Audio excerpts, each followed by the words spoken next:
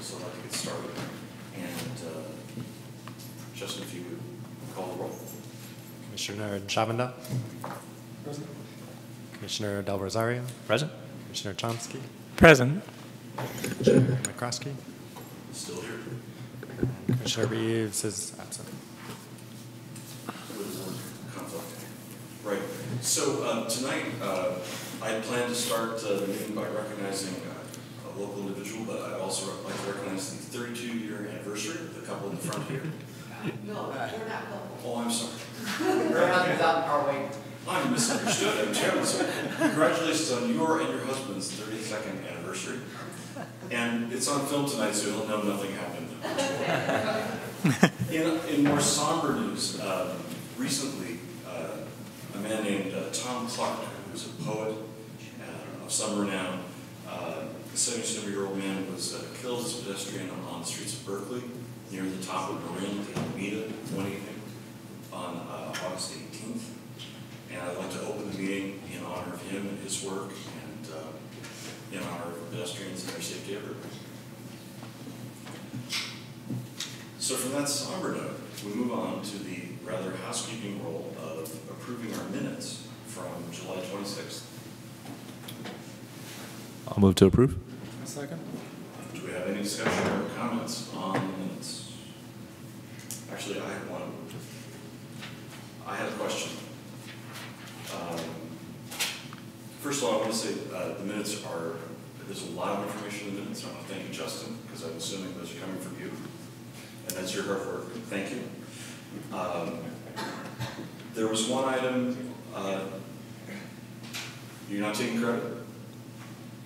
We have some outside assistance. Oh, you do? Okay. But I, Great, But you're probably proofing it, and we appreciate that. Um, Item number six two was about the uh, intersection of uh, Brighton and San Gabriel. And uh, at the end, it just said, um, Jeff Bond will take these comments into consideration. Did we talk about what the next step, or when we might see that back might be? I'm, I'm sorry, I'm not recalling the end of that agenda item. We could go back and double check with the tape um, and, and clarify that in the final minutes if you'd like us to. That'd be great. Thank you. With that, barring further discussion, all in favor? So, wait, are we approving these as the final minutes, or are we Oh, make, adjusting the motion to approve with that modification, or? Well, we don't have the information right we don't know if, if a modification is called for or not. Um, Do you want to postpone approving them altogether? Do you want to ask to approve with, with the possible modification? How about this? Since the minutes are no longer sequestered as drafts, they're now part of the agenda and are available to the public. We're not uh, delaying their release. So why don't we table the minutes until that one issue has been resolved and revisit them next time? Is Okay, sure. Okay, All right, so we'll, we'll table that out and move on. So our next item is public comment. And uh, I want to make clear that this is the, uh, the public comment for some things that are, or anything, in fact, that's not on the agenda otherwise tonight. And in general, our public comment is three minutes a person.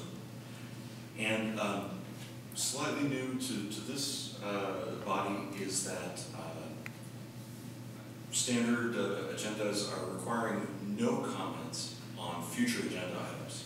So if you have a future agenda item that you'd like to propose, this public comment period is your time to do so.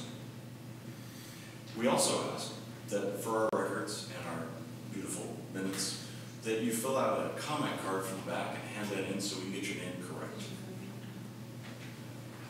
Is there anybody who wishes to speak with the general public comment? Please step up.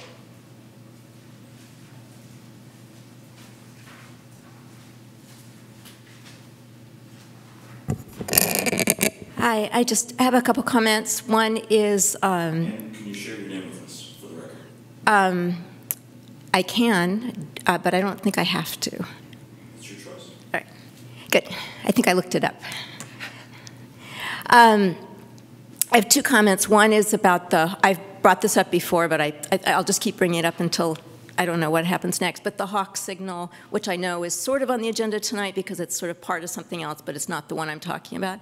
It's part of the proposal for Washington, I think. But um, I don't know if, I, I think there's been some conversation about this, and I got some responses, but I just want to keep bringing up that, how dangerous I think that signal is, the one that's near that store. Um, So is it Dartmouth and San Pablo, I believe? Is that the one you're talking about? Yes, yes, the one at Dartmouth and San Pablo, yes. And I've spent a lot of time there timing things, watching cars, watching cars, not sure what to do. And my suggestion is to, instead of having the blinking red, is to have a solid red. That's my suggestion, because people know what a solid red is. They actually know what a blinking red is, which is the same as a stop sign for them. And since they don't stop at stop signs, they don't always stop at blinking red lights. So I would really, I think it's just an accident waiting to happen. I, I've watched it many times, and I just think it's really dangerous. People are really confused. Maybe if we had no traffic coming from anywhere else over a period of many, maybe many years, people would figure out what it is.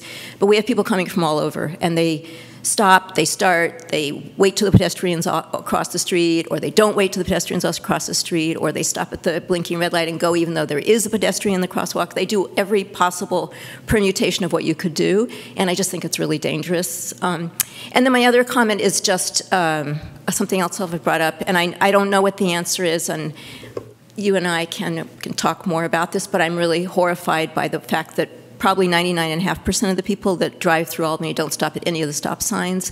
They don't even pause a lot of times now. It's gotten to the point where they just drive through. And it's just so dangerous and so scary to be a pedestrian. And I worry all the time about people who don't understand that the car's not going to stop and don't think to hesitate. Now I wait. I wait to see. I've had cars drive around me while I'm in the the in the crosswalk. You know, I literally in the middle of the car, crosswalk. Somebody drives through a stop sign and then swerves so they don't have to stop. I've had that happen to me several times. It's just really dangerous situation, and we need to change what we're doing in our city. And I used to think it was up to the police officers, but I guess there just aren't enough police officers to be at every stop sign, so there needs to be something else done. So those are my comments. Thank you. Thank you.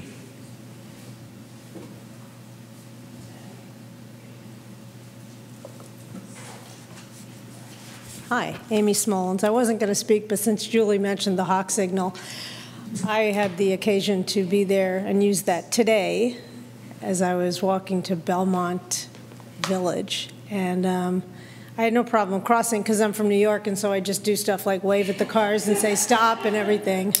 Um, but one thing that happened is someone that was crossing from the other side, from the east side, from Belmont Village, um, pressed the button and then walked across the bike path and had to avoid, the cyclist had to stop to not hit a pedestrian because the signal, the signal button is on the other side.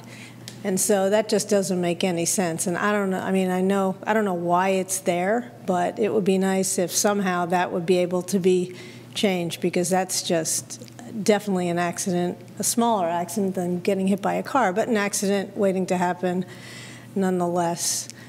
Um, also, second subject, I live on Kains Avenue, and I know that it was about a year ago that you guys were considering the Kains and Adams um, Bike Boulevard projects, and then it got approved um, for a pilot project in December by City Council. And some of my neighbors are going, hey, when's that going to happen? And so I just would like everyone sort of waiting for it to happen and hoping it can happen soon, and people are still riding in the quote wrong direction anyway, so it would be nice if it were marked correctly so people can use it um, as it will be intended. Thank you. Thank you. Anyone else?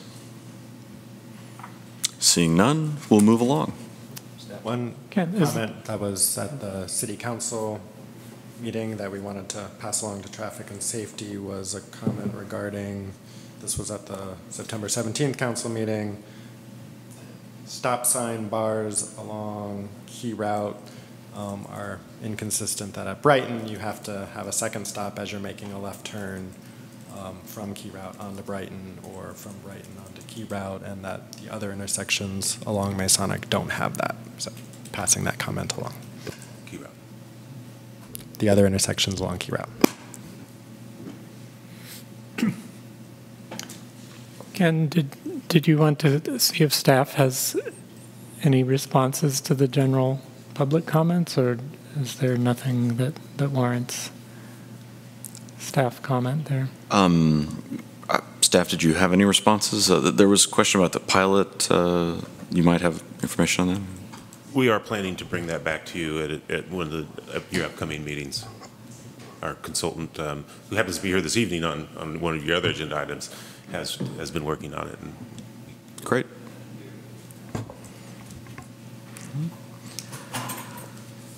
Okay.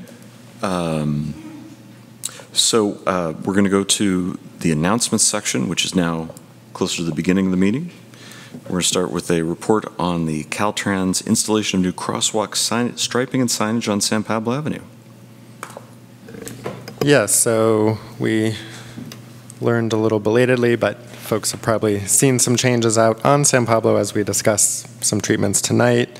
Um, Caltrans has been working across several cities on more immediate pedestrian safety improvements at non-signalized intersections, and there are four locations in Albany that they are doing enhanced wet and nighttime crosswalk treatments. Um, Signs went up earlier in, I believe, in July, so advance warning signs of the crossing point. Um, They just did some curb treatments, red curb in advance of the crosswalks earlier this week, and any evening now should be doing uh, new higher visibility crosswalks at those four unsignalized crossing points in Albany. Great. And then the item four two was, um, we received notification that MTC is funding a study that was a proposal by the West Contra Costa County Transportation Advisory Committee. Um, Caltrans previously, through an I-90, I-80 corridor project, evaluated signal timing up and down San Pablo Avenue that focused on weekdays. It did not deal with weekend signal timing. So this project will be looking up in Contra Costa County, but is now going to be extended through Albany um, to look at the signal timings at the signalized intersections through Albany uh, for weekend times. So this is a request for a louder volume. Sure. I'll speak closer to the microphone. So the timeline on that um, is they're going to look at existing conditions through October, provide initial recommendations around the end of the year, and they're looking at April or May 2019 implementation. So as I receive more information, I'll bring the, them that here. So for item 4-1, are, are the treatments that Caltrans is doing informed by the plans that we've made for improving those intersections as part of Complete Streets, or is that a separate project? It's a separate project. They're using the city standard, which is what shown in our previous designs for continental pattern versus the two little bars that currently are in the ground.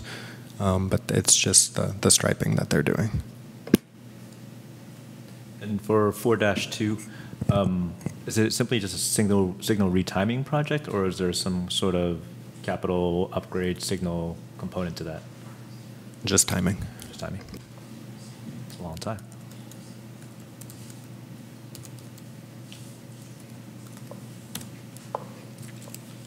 All right, any other questions? Am I taking public comment on announcements? I don't see why not.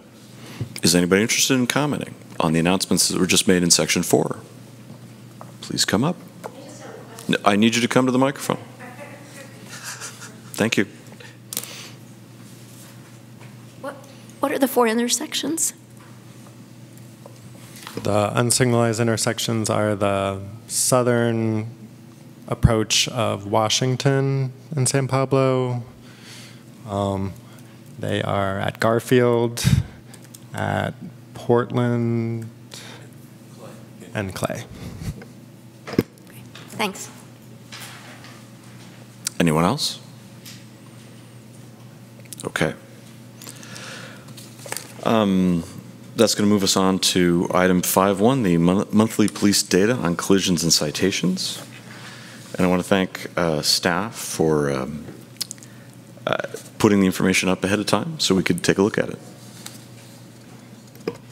Thank you. With uh, August break, there's two months' worth of new data. Um, Total collisions are, were 16 in the month of July and 15, oh, sorry, pedest, I'm showing pedestrian. So pedestrian collisions were one collision in the month of July and none in August. Bicycling auto collisions were two in the month of July and zero in August. The total vehicle collisions were 16 in July and 15 in August, and injury collisions were seven in July and zero in August. Citations in July were 78 citations that were issued, 74 in August, and DUI arrests, three and six. Um, The people may be aware, in July, there was a rather serious hit-and-run um, collision along Marin that involved two separate, two of the collisions reported here were from the same overall incident. There was a collision on San Pablo and Marin that continued on and then had another collision over at Masonic and Marin.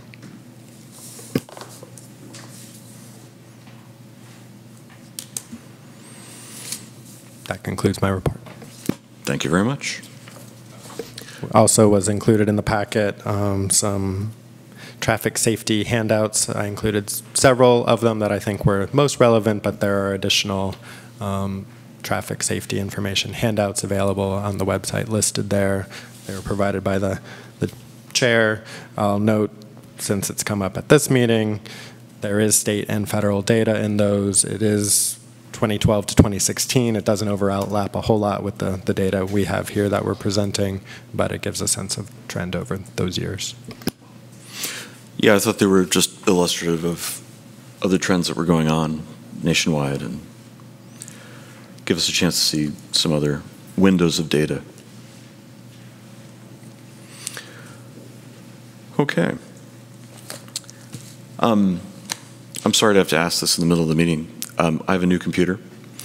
What's the Wi-Fi password? It's all one phrase, all lowercase, dinner with Albany 2010. All lowercase.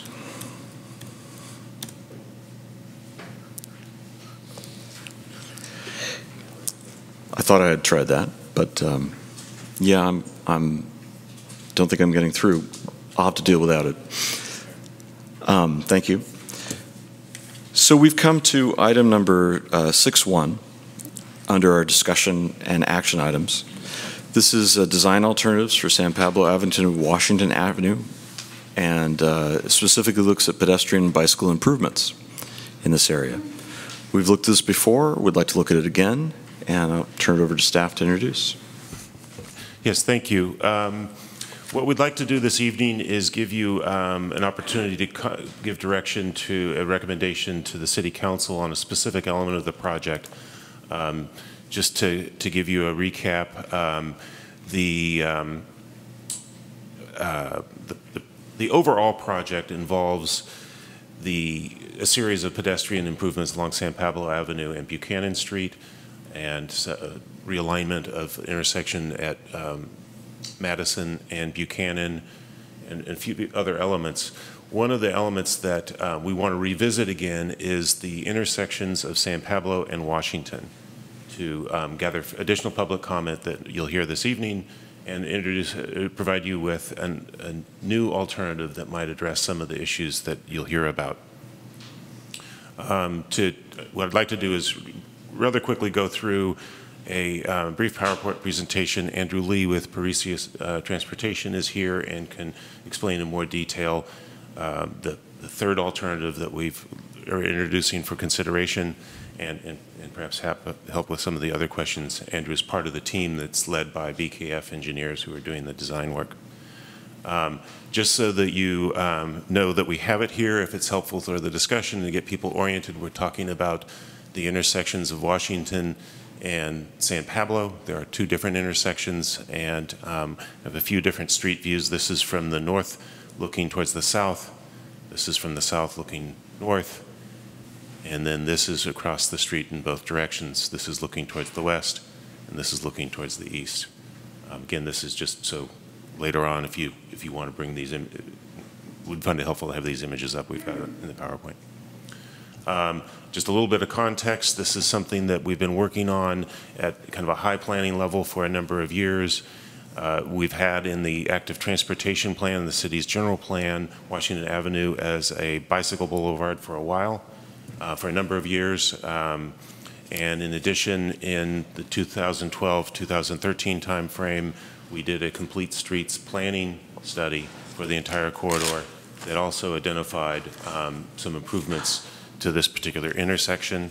Um, The planning study at that time had a different solution than what you've looked at, and although you looked at this, um, what, the direction that we've been going in the recent design. Um, This is, um, and I'll show you that in a second, this is from our active transportation plan, and the, the intersections that we're talking about are right here, and this shows the, the bicycle route. This is um, the only bicycle crossing, uh, designated bicycle route across San Pablo north of Solano Avenue. Uh, So it's an important crossing. Um, This is another graphic from the active transportation plan. The purple line indicates the um, desired slow routes um, that would be a little bit more comfortable for, for midi bicyclists. And again, the intersections that we're talking about are right there. Um, And this is essentially the same image from the city's general plan, blown up a little bit. And um, the general plan, the idea of a, of a second signal is actually identified here um, uh, by the, the signal with the blue box indicating a new signal. Um, And then last, as I mentioned, this is an image of the, at the planning level, the, the idea that was presented as part of the complete street plan was to have a bicycle lane in the median. Um, In the early in the design process for the, the project that we're, that we're working on now, I think the conclusion was, the commission was that this didn't feel like it would be um, a safe, the, the details wouldn't really make a, for a comfortable and safe crossing, and that we wanted to explore other ways to get people um, across the street comfortably on bicycles. Um, So uh, to recap the design process that we're currently in, um, first of all, the program, the project is being funded by an active transportation grant that we received in 2015.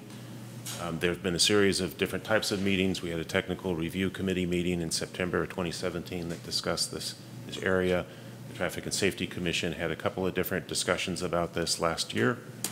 Um, And in recognition that, that this was going to impact some very specific businesses um, and, and that we hadn't heard from them, Justin and I did some targeted outreach uh, to the businesses that would be right in front of the, the, the cycle track that is, that had come out of the planning process this far. Um, And so they'll, they're here this evening to express um, some of their concerns and some of their ideas as well. Um, In addition, so that you know, we have presented the plans at a, um, uh, essentially a 65% level to Caltrans. This was one of the planned steps in the design process. Um, They got it late this spring, and we were able to have a meeting with them in late August for their verbal feedback. We still haven't received any written feedback from them, but it was a- what they call a a preliminary review. And we can share the, some of the results with that, uh, of that meeting with you today if, if you're interested. Um, And then in terms of next steps, where we're going with this, um, the, the bottom bullet point is really kind of the, the most important milestone here, which is by summer of 2019, the grant needs to expires and we need to be completed with the project. Um, We also need to send it back through Caltrans one more time, and they usually take three or four months for their review. So we're trying to get on a track here where we finish up the design process in the next few months so we can get it to Caltrans early in the year, give them enough time to do their work, and get the, the project wrapped up before we um, uh, hit the, the deadline for the granting agency. Um, As I mentioned, this is a significant design challenge. We're trying to get both pedestrians and bicyclists safely across San Pablo while keeping San Pablo as functional for, for motorists, for transit and so forth, and for businesses that are located along the street. Um, And um, this particular segment of San Pablo is difficult because all the streets are staggered. The cross streets, the east-west streets are staggered. It would be a lot easier if they were all four-way, normal four-way intersections. Um, And then again, as I mentioned before, Washington is the- currently the only designated east-west bike route to get people from the west side of town across San Pablo towards um, schools, Memorial Park, so on and so forth. Um, This is a brief summary of some of the design considerations. I won't read these through, but again, it's, it's a long list of, of different characteristics of the, the street that we want to make sure are addressed. Um, And um, again, I can come back to this if it's helpful later on in your discussions. Uh, So to, to get to the three alternatives that we have for you to consider, um, the first alternative A is where we last left it with the commission. Um, This would be a two-way protected bicycle path on the west side of the street. And um, this is a, a um, image of the, of the plan. It's um, just to get everybody oriented. This, the north is to the left. So this is Washington, this is the gas station. Um, I'm sorry, I'm forgetting the name of the gas station right now, but. Um, And then um, across the street are um, businesses over here. This is Washington Avenue, and this is Mechanics Bank over on this corner to help get you oriented. And this would be um, the cycle track here, sidewalk against the businesses, and then this would have a, um, a hawk signal, pedestrian activated signal here, and this would be a um, a a standard intersection, signalized intersection here. Um, The, the key design feature and the key concern is that the construction of the cycle track would require elimination of the street parking on this side. And we've heard the importance of the street parking to the businesses. Um, Alternative B is the idea of a shared use sidewalk where essentially the bicyclists, and we don't have a good drawing of this, and it really doesn't have a lot of changes to the infrastructure. It would basically be an arrangement where the sidewalk, where bicyclists and pedestrians would share the sidewalk. Um, It probably would involve some modifications to the sidewalk to eliminate landscaping. Um, I think there's at least one tree there that would need to be removed. And um, this would allow for um, the bicyclist to be off the street. It would also allow the street parking to stay. Um, It is less expensive, but it does still have some significant issues, particularly with, um, you know, with respect to the interface between bicyclists and pedestrians on the sidewalk and the driveways of um, going into the various businesses. Um, Alternative C, which you'll hear more from Andrew in a moment, um, is a, new concept that came out of some brainstorming that we did and, and a comment that we received from, from Caltrans, which is essentially to create um, a two interconnected signals on the two parts of the Washington-San Pablo intersections. And by doing that, we could then introduce essentially a bicycle phase to that signal. So a bicyclist would have a period of time uh, where they could enter the intersection and, and make their maneuvers.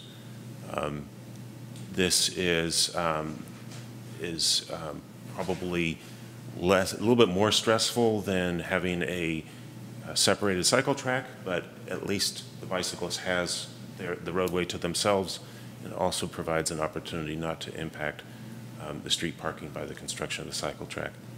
Um, And I think at this point, if I may, turn it over to Andrew to go into more detail on this, and then we can wrap up.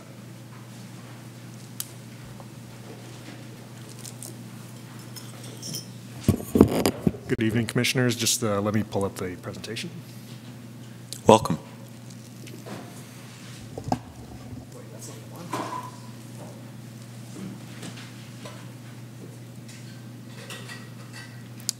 Okay, good evening, Commissioners. Uh, Andrew Lee with Parisi Transportation Consulting, uh, traffic engineer with the firm, and I'm on the project team with BKF on the full San Pablo corridor and Buchanan project. Um, As Jeff mentioned, uh, this is tr- trying to figure out another alternative, another option to consider regarding how to span the connection for bicyclists um, from one leg of Washington to the other. Um, We've got two options, and this was a third option that came up. Um, I I believe Commissioner McCroskey actually mentioned it in our prior review uh, about what it would take to introduce a traffic signal-only option. Uh, Because there's existing infrastructure out there, and there's some possibilities. So just to refresh everybody's um, uh, acquaintance with the corridor, um, to the left is north, to the south, excuse me, to the right is south. Um, And I've marked out where the existing crosswalks are, and there's existing signal equipment at Washington Avenue North or West, however you plan to, uh, how- however you like to acquaint yourself with that. It currently runs with the two-phase signal, and what that means is there's one signal phase that goes with San Pablo, north-south, and then that goes for a certain period of time, a rather long period of time, uh, and I'll explain why. And then Washington, uh, going in the eastbound direction, gets a certain amount of time, about 30 seconds. So in total, this is at least in the PM uh, commute hours, the overall cycle length for this intersection is 130 seconds. And that's because San Pablo Avenue operates on what's called signal coordination, meaning signals at one intersection are timed in a way so that they're compatible to give a green light from one intersection to the next to the next, so that you don't get a green light at one intersection and then a red light at the next one and then a green light. It sort of cuts down on the herky-jerkiness of the flow and allows you to progress forward. The trade-off for that, however, is that you get some rather small intersections like Washington Avenue North, where it's going to be a long green for the San Pablo traffic and a rather short green for the Washington traffic. And so somebody who's a pedestrian wanting to cross San Pablo can hit the button and they can wait up to almost two minutes before they're going to get the pedestrian signal to cross. And so this is heavily favorable for the vehicle traffic on San Pablo, um, but it's a little bit of a hassle for somebody who's trying to cross. Uh, We've already gone through the cycle track concept, um, and I will just add that in the discussions with Caltrans, um, in their review, they mentioned that one possibility, in addition to the uh, pedestrian hawk signal at Washington Avenue South or East, that uh, considering a full signal uh, would be uh, something that could also improve the operations there. And so, taking that idea and also some previous comments received, we developed a signal only concept. So, one of the first things to introduce on this concept is that we would be taking the crosswalk on Washington Avenue North or West and moving it over to the other side. And I'll explain why, uh, but also showing a new signal at Washington East. And we're showing a few uh, boxes. Uh, these are bike boxes adjacent to the uh, vehicle lane, and this is where the bicyclist would queue or wait for the traffic light to turn green uh, before they make their move. Okay, so um, I just want to bring up that the traffic signal and the signs, as you see them, they are not purposely upside down or by mistake, that is. They're uh, oriented to appear in the right direction for the traffic approaching. So just want to make that clear. Um, for the very first phase of this bicycle signal phase only operation, um, what we would present is a bicycle signal. So these would be in addition to the vehicle signals. Okay. Uh, so the vehicle signal would be showing red. The vehicles are not supposed to move during this phase. It would be a bicycle only phase. And you would get about 15 seconds in total, so 12 seconds of green and then yellow and red to get through the intersection. And the timing on this is governed by the uh, California Manual on Uniform Traffic Control Devices, which says uh, you need a certain amount of time to get through the intersection, uh, specifically for people on bikes. Um, there's a six second startup time that you get where they assume that nobody's moving, but they're just getting their bike going. Um, and then they assume somewhere in the order of a travel time through the intersection of 10 miles an hour. Okay, so that's how we came up with these times. All right, continuing on. So this, you get this 15 and a half second time, this bike burst. This is actually enough time for somebody to make a left turn onto San Pablo because San Pablo is still a legal bike route. And we had to make sure that there's enough time to get through the intersection regardless of whether you're turning left or right. Now, if you did manage to turn right, um, that 15 and a half seconds may not have been enough time to get through the intersection. In fact, according to the MUTCD, it's not enough for somebody riding at 10 miles an hour. There's an overall bicycle clearance distance that we calculated of about 250 feet, and that's from the bike box all the way through the intersection and clearing conflicting traffic on the other leg of Washington. And so, with that, um, the second phase, so the first phase being just the green, just the bikes going. That turns red. And then the bicyclists uh, who are trying to make this uh, right movement would be in the center left turn lane, which currently exists right now. And so they would be in opposing pockets, uh, left turn pockets, and they would see the green left turn signal. And you'll notice that the bicycle signal at the intersections of Washington and San Pablo would be showing red. So bicyclists would, should not be entering the intersection once the left turn arrows are going. And that's because um, if there is vehicle traffic on San Pablo in the left turn pocket, they can make that left and the bicyclists would be following behind them. But the idea is that there would not be any vehicles behind the bicyclists. So the bicyclists would get that green burst, they would go, uh, and they would make the left, and they would get about 20 seconds in total to clear uh, that crossover on San Pablo. At the same time, because we moved the crosswalks uh, over um, at Washington Avenue North, uh, we could show the left turn signal while the pedestrians are going, and that would be essentially a long pedestrian um, crossing phase, at least to start. And then to end, we would have all of the left turn signals turn off. It would be a green signal for general vehicle traffic on Washington Avenue, north and south, to make the left turn or right turn onto San Pablo. And this is after the, the bicyclists should have cleared the intersection. If you do have some cyclists who have a hard time getting through the intersection, uh, what they would do, like let's say they didn't manage to make the left turn, onto the other leg of Washington, they could position themselves and queue in the left turn pocket. And so they would not be exposed to traffic um, behind them um, in a general lane. They would have a left turn uh, pocket to, to stage themselves for when the left turn signal activates for the next time.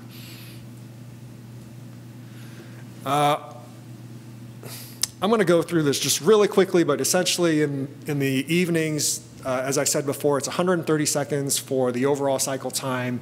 Uh, San Pablo currently gets 100 seconds of this 130 seconds, uh, and this would be cut down by about 18 seconds to get it to 82 seconds, which is still honestly a lot of time. Uh, in the morning, the overall cycle time is 120 seconds, so we're just talking about a difference of 10 seconds. Uh, so almost the same. Um, and we also did a level of service analysis or a, a, a intersection delay analysis. The intersection as it operates now is at what uh, we'd call a level of service A, which means that the delay is less than 10 seconds on average for all of the vehicles going through the intersection. And with this proposal, it would degrade just slightly by about five seconds or so to level of service B. So still very, very good service and low delay overall for the traffic passing through here. All right, I'm just going to summarize then what the relative advantages and disadvantages are. Uh, I want to acknowledge that with the other alternatives that we've considered, there are advantages and disadvantages as well, and it's just a matter of um, you know, what we can live with. Uh, so the advantages here, faster implementation and lower cost than the cycle track, meaning that there would not be any curb work, there would not be any reconstruction of the sidewalk uh, on the west side of San Pablo.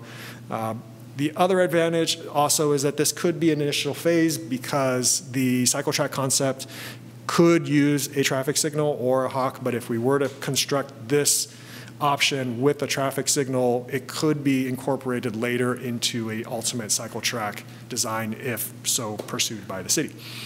Uh, And lastly, that there is not a whole lot of effect on San Pablo traffic coordination, meaning it's not going to introduce a whole lot of delay to the overall flow along the San Pablo corridor. Okay, the disadvantages. We are moving people on bikes into the vehicle lanes, and ideally, with the traffic signal timing, we'd try to clear out that short segment of San Pablo between Washington, north and south, so that there wouldn't be any cars there as people on bikes are riding into that left turn pocket. But that may not always be the case, especially in periods where there's congestion along San Pablo and there's traffic stopped. And so people on bikes may have to try to get around stopped traffic or at least, you know, weave in between vehicles. And that is harder than having a dedicated facility. Uh, people who are um, not able to ride as quickly as 10 miles an hour, um, so small children, maybe older adults, um, they may have a hard time clearing the intersection and they may not feel comfortable uh, waiting in the left turn pocket. Um, and then lastly, uh, although not comprehensively, uh, there's a possibility for what I've written down as bicycle signal violation by vehicles. That's just a wonky way of saying that somebody seeing the bicycle signal turn green may think, oh, that's my signal too, and turn, and there could be a conflict with the people on bikes making their turns as well. And so there's a matter of education for drivers. I've got a few other slides about certain different scenarios and um, what happens if there aren't bikes and there's just vehicles. Um, I'm not sure I really want to go into that, although if the questions come up, I, I can certainly touch on that. And with that, I could turn it over to the commission for discussion. So I just want to say, um, I see some new faces. So in terms of flow, what usually happens at this point is the commission gets a chance to ask questions and uh, query staff and, and the presenter, and then we open it up to a period of public comment on the item, go through that, close that, come back, and then the commissioners get to express their opinions and uh, come to some kind of, hopefully, consensus on where to go next. So this is our chance as a commission to ask questions of the presenter. Does anybody have any questions they want to start with? Okay. Uh, First, uh, for Jeff, when you talked about the summer 2019 deadline, that's to get an approved design or to actually build something? Uh, Just to complete the design process for us Complete the to be able to charge the consultant fees to, Okay, so the- the construction is a Yeah, the whole construction separate is a schedule. separate- Okay, good. Um, Now, getting into some of the details of this very interesting idea that's just been presented. Um, So my first question is about activation. What, would a bike person on a bicycle do something special to trigger the bike signal to activate, or would it activate in every cycle, or would they push a button, or? There's a variety of equipment available out there, um, but most commonly we're experiencing right now is video signal detection. So there's a video camera on the signal equipment. It, it is capturing an image of the areas where bicyclists and cars would be stationed, and if it detects a change in that image, so something entering a zone, it should activate. So it can tell whether there's a person there on a bike as opposed to a car in that same location? Uh, It's supposed to define certain zones. um, And so I showed a bike box. uh, You know, ideally it would be pavement marking, possibly green, and anything entering into that zone would ostensibly activate the bicycle signal crossing. So if a car was pulling up and expecting to turn right and kind of instinctively positioning themselves in the bike box, which they shouldn't really do, but if that was their, their intuitive path of travel, they would inadvertently trigger the bike. That is a possibility, yes. Uh, I think there's some calibration that could be done with the signal equipment to try to differentiate based on size, but I would also expect that there could be some false positives along the way. But really, the, if the drivers did that repeatedly, they'd realize that they're just slowing themselves down by doing that, right? That's true. And I'll also mention that there are other alternatives to that. Um, So that's a passive detection method. There are active detection methods, something as simple as a push button next to um, the queuing area would not trigger such a signal and uh, could also provide the feedback to a person on a bike to see that when they push the button, it says that the signal has been alerted and you will be detected. Might give people more confidence that it's really going to work for them. That's true, yes. Okay. Um, have you envisioned how a person on a bike would know what path to follow, or would they, like, would we be putting in some kind of green markings to show this kind of S-shaped route they're expected to take? Yeah, ideally, we would introduce uh, either a shared lane marking, greenback shared lane marking, uh, Sharrow, um, or, and probably additional signage as well um, to, to illustrate the route. Um, There are examples of this, like um, in Berkeley, also crossing San Pablo um, by the Berkeley Bowl, I forget the street. Um, Is that Heinz? Yeah, Heinz. Yes, exactly. Where um, it's a it's a sign that has uh, a little bend in it. Okay. Yeah. Um, and finally, when you talked about the level of service for people driving on San Pablo being degraded from A to B, are you considering the level of service just for the Washington intersection, or are you able to extrapolate from that to how people's experience of driving through North Albany altogether would be affected? Like, So we have the we have the entire network modeled uh, from end to end, and the particular analysis was at Washington. Uh, and when we did run the simulation, it was showing that for a large swaths of time, uh, San Pablo was getting the green. Um, and actually, the major choke point is not so much the intersections uh, Washington northward, because most of those are um, long green times for San Pablo traffic, but uh, Solano is the one that chokes everything up, where um, the green time allocated for San Pablo traffic actually drops a lot because there's just many more complex movements there. And we've also talked about reducing the number of phases at the at the Solano intersection so that there would just be a left turn, a, a double left turn phase and then a straight through phase instead of an eastbound phase and a westbound phase. Would that throw off the calculations you've done or do you think that it, That would make it, that would make it better for the overall corridor, and it would not affect the specific calculation that we did. okay, for- so, so your conclusion that this change doesn't significantly degrade the experience of drivers passing through Albany, you think is fairly robust? I do. If, even if you look at a bigger, a longer stretch of San Pablo and different options for Solano, it all holds up. I do, uh, specifically because the, oh, was it the choke point, the, uh, the logjam is The- not here, it's Right. elsewhere. Okay, and, and what we're doing here wouldn't create a new choke point here, it would just, be, okay. All right, that's it for my questions, thanks. To, to follow up quickly on what Harry mentioned, um, what is the amount of green time that's given to San Pablo and Solano along San Pablo today? So I assume it's less than 82 seconds, and It that's is less than 82, I think it was on the order of like 45 to 47 or Okay. something like that. Yeah. Got it. Okay.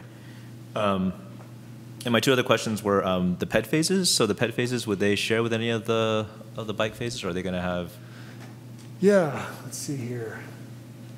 So the PED phases would share with the bike phases, but only on this left turn. So the bikes should not be turning against the PEDs, and that's why we moved the crosswalks over um, Got it on the outsides. on the outside. And then actually, this is not enough time for the pedestrian to clear fully at the intersection.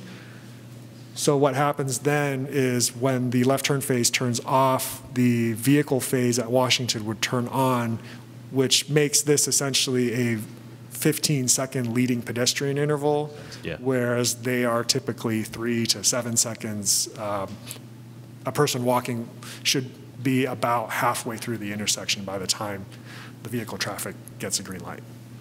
Makes sense. Um, and then for, for, you mentioned about how there are bikes that would have, cyclists that would have challenges getting through the intersection in the amount of allotted time. So what would happen if you, if you get the bike phase, you make your, your right turn into um, San Pablo, and then the signal changes? Um, what, what's the next phase that happens? Do you get You get the- green? You get the left turn arrow With the car, with the vehicles? with the left, with the vehicles, except there would not be any vehicles coming behind you, either coming behind you on San Pablo or coming behind you from Washington. It would only be bicyclists trying to get into the left turn pocket. Any vehicles that you may encounter would be the ones that were already in the intersection before you got the green signal. So there's a possibility that there'd be somebody in the left turn pocket waiting to turn, and the person on bike would follow them in clearing the intersection. So as a cyclist, you would end up queuing in the left turn lane as a vehicle would. You wouldn't have like a bike box or anything like that. You wouldn't need it, I guess, because you're just behind the vehicles. Right. But then if you were so slow on a bike that you didn't complete the left turn in time, you'd be stuck in that left turn pocket. You would be in the left turn pocket, yes. And then you'd have the fast highway traffic zooming by you. It would be next to you, yes, but you would have a place to stand in the left turn In the pocket. pocket. Yes. And, and would that be a prohibited left turn movement for vehicles at that point? I think it would be because if we're going to introduce a left turn signal, um, I think a matter of consistency that uh, it would be a protected left turn or signalized left turn arrow at all times for all left turns would be preferable. So the green arrow would change to a red arrow? Yes, it would. So then you're waiting in a fairly quiet place with stopped, you may have some stopped cars behind you at that point, but they wouldn't be, they wouldn't be like They wouldn't be trying to pass you. stressing you out, hopefully. right, trying to make you go. It wouldn't be a car trying to get around you To to, get go around you. through. It would be a car stopped with the understanding that they were going to let, get a left turn arrow as well. But you would have two phases to try to get through this, it sounds like. So you're going to have the bike phase to make the right turn, and then you're going to have the left turn phase to, to make the left turn. How many seconds for each again? A- Actually, what I'd like to suggest is you take it, take us through the whole cycle once more. Sure. That would be great. That'd be good. Okay. So the default setting for the intersection, San Pablo gets green.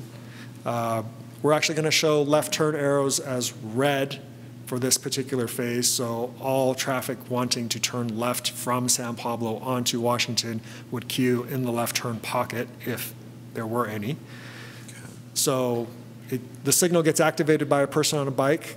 They show a, all the signals on San Pablo turn red. It shows the green signal for the bikes. It also shows a no right turn uh, blank out sign for vehicles. Uh, bicyclists are allowed to turn left or right. You get about 12 seconds of green to start, and in total, it's 15 and a half seconds before that signal shuts off.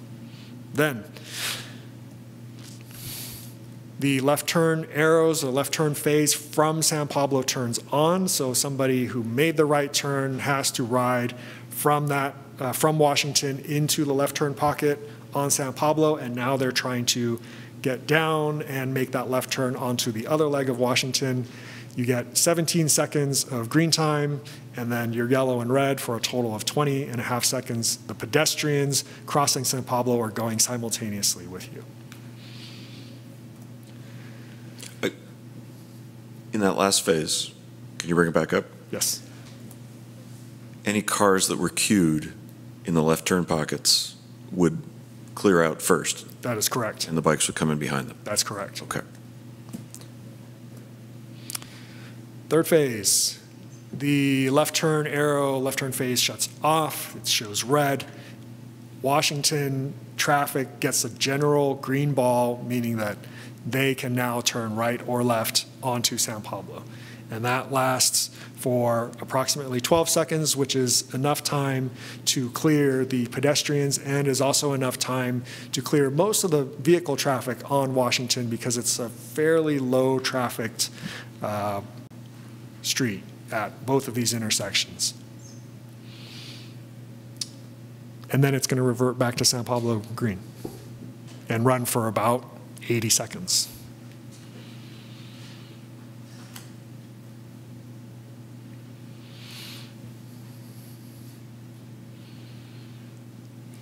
Other questions? Could we try that? Try. Could we mock it up and try it for a week? I don't know. uh, I mean, I think you could. You'd have to do manual traffic control to get it that so way. So maybe a day. Maybe a day, maybe you pick a Saturday or something, Saturday morning. Um, Well, You get a chance, hang on. Um, One other thing to test also is, um, can you really get up to 10 miles an hour? Um, What does that feel like to you, to someone else who, you know? To somebody on training wheels. Exactly, yeah. Um, You know, let me add one more thing that I didn't actually put in the presentation, but um, with the crosswalks and the additional signal on Washington Avenue South, um, if people who did not feel comfortable getting into general flow of traffic wanted to ride the sidewalk, then they could still ride the sidewalk and they would have that additional signal to the south to use to cross in the crosswalk. And they would be properly aligned in the direction that they want to go. Meaning, if you were coming from Washington Avenue north and you went along the west sidewalk and then you hit the button to use the crosswalk, you would wind up on the correct side of Washington going east and vice versa. I, I think it works both ways. It works If both you, ways. I- I have to say, though, if you walked your bicycle on the sidewalk, But you're, you're now expecting that the person going eastbound would use the west sidewalk, and the person bicycling westbound would use the east sidewalk. That's right. Okay.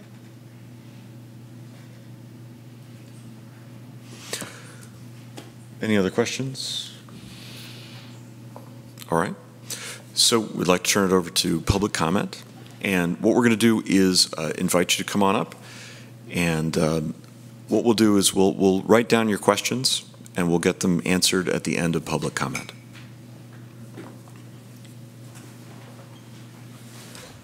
So we would appreciate, for those of you who are comfortable, giving us uh, speaker cards, um, and just bring them up and we'll call people out in order. If you prefer not to, then that's okay too.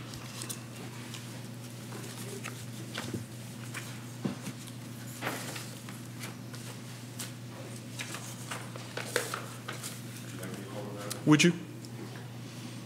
So I have two cards, starting with Valerie Risk and Brian Martin.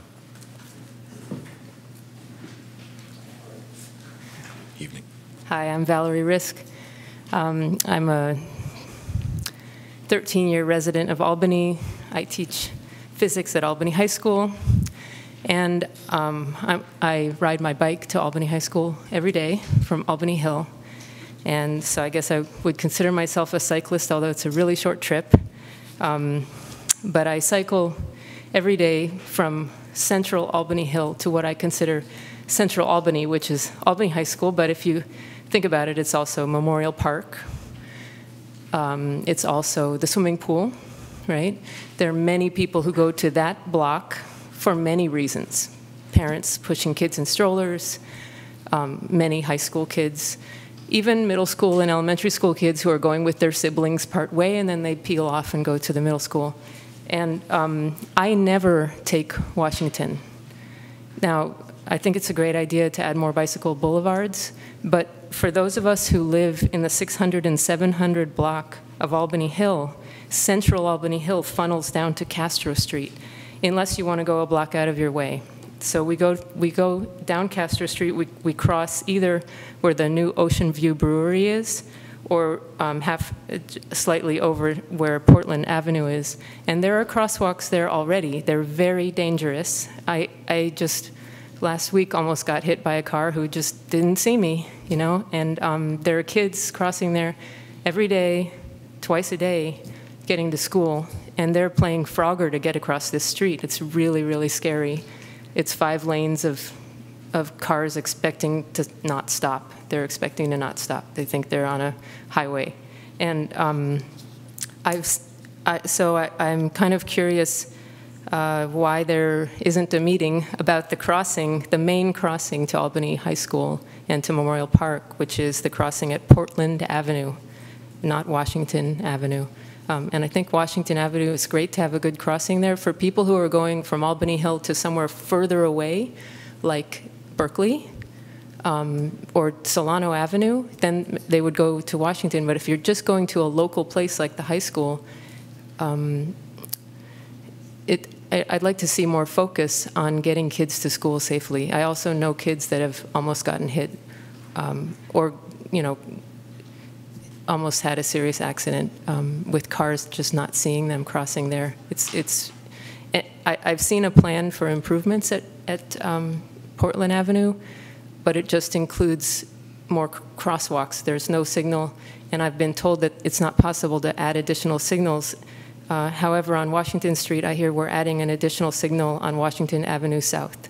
So I would like um, the council to consider adding an additional signal at Port- Portland Avenue, which is a major crossing for many people in Albany. And it would be good to have some data about how many people cross at Portland Avenue and what is the flow of traffic on San Pablo during those crossing times, which are big commute times as well. Thank you. Thank you. Um, Hi, my name is Brian Martin, and uh, I I live with Valerie. We come from the same place, and so um, the street crossings on San Pablo are very important. They're very scary, and uh, so uh, I wholeheartedly support improvements to the crossing at Washington.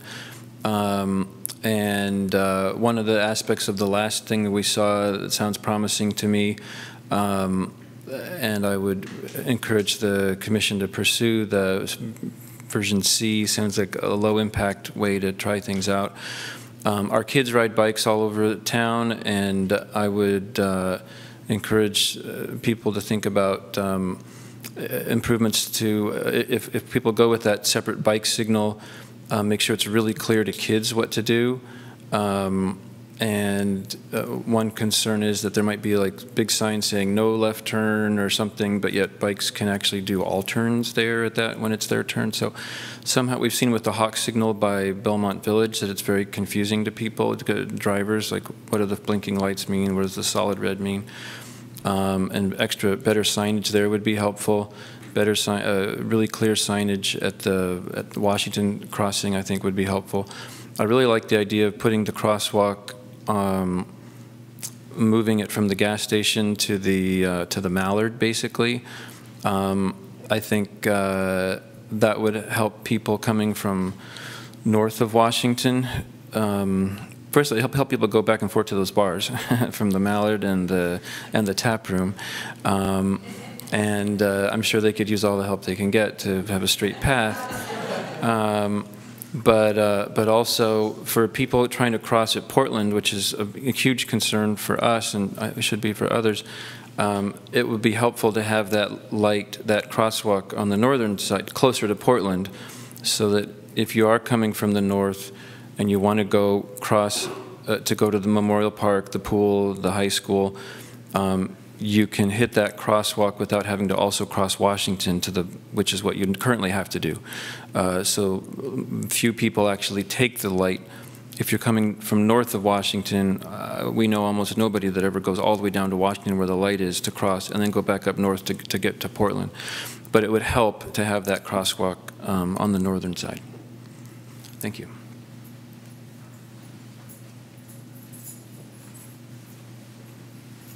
Thank you, Council. Um, I'm Larry from United Transmission. I, I have to interrupt. We're we're not actually a council. We make recommendations to the city Okay. council. We're just a commission. Thank you. All right. But I, like say, the Plan 3, or C, looks great. I like how the sidewalks are moved. Um, As far as the kids, I'd say most of the kids that ride right in front of the business, they're all coming down the sidewalk. They're, I wouldn't say, they're probably all under 10 years old. And the parents do cross them right there at Washington towards the bank. And most, the adults do ride up and down the sidewalk there. Um, You guys could, I mean, I'd love to sit there one morning and watch how many kids come up and cross there. You would see a lot. The, the singles, like you say, would make greater sense. The Hawken light, I watched that a few times. I went down and sat there and watched it. It is confusing. And people are too big of a rush today. Unfortunately, like you said, try to cross the to the light like you were doing earlier. Guy, you guys had, you know, had a discussion about it. But I say, you guys, I think that Plan C would be great. It'll leave the traffic alone for the businesses. We could still operate instead of blocking the number one lane. If you did have the curb going out all the way to the lane, we have tow trucks, the pump trucks and all that could be sitting there 30, 45 minutes an hour in the first lane, which would be bad for traffic flow. So, like I say, that light I think would be awesome. That setup. Um, like I say, if you guys want to come by, sit there with us for get some coffee. We'll watch. Like I say, you could literally see how many people cross there in the morning, kids and all that. It's it's a lot. And yes, I agree with Portland. They say at least if they move it to the north side of the Washington, I mean there is an access so people go right up to Portland pretty easily too. Like I say, it's important all the way in Albany to have crosswalks, but I say at least if we have a, one towards the middle where you have two corridors that take you up to Solano or one up towards Portland would be great. Thank you guys for your time. Thank you. After Amy will be David Dobney, Dobney and um, Preston Jordan. Hi, I'm Amy Smolens. I do not live on Albany Hill or work on Albany Hill. Um, but as a vehicular cyclist, I like this as a good compromise. And with the uh, skip striping, I think the green skip striping would help. And maybe it would help, maybe this treatment would help get the kids, you know, kind of create the next generation of vehicular cyclists, kind of get them used to riding in the road with the, with the protective signal, the markings, things like that. Um, one thing I'm wondering if the video signal um, detects continuous cyclists uh, or additional bikes, like if I'm riding and then I'm halfway across and then Valerie comes and she, well, if there's a button, either hits the button or or um, the video senses her, does it then, do you get a new 15 seconds? So if there's a group of cyclists or a group of kids going to school, is it going to continuously stay on, or is it just going to, is the first one going to just bam, 15 seconds, seven seconds, and then turns red again? So that's my question. Thank you.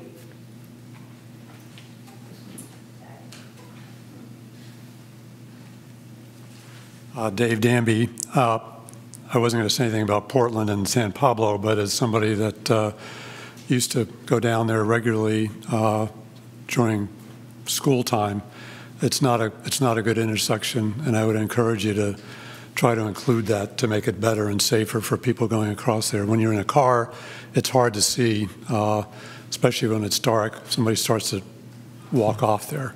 Um, but I did have a question on the on the C plan. Um, with the two left turn areas, is San Pablo then still five lanes there or six? Otherwise, the two left turn lanes would sort of would back into each other. And I'm just wondering, is there enough space to do that if you have cars and, and bikes? It wasn't clear on the diagram to me uh, how that works. Thank you.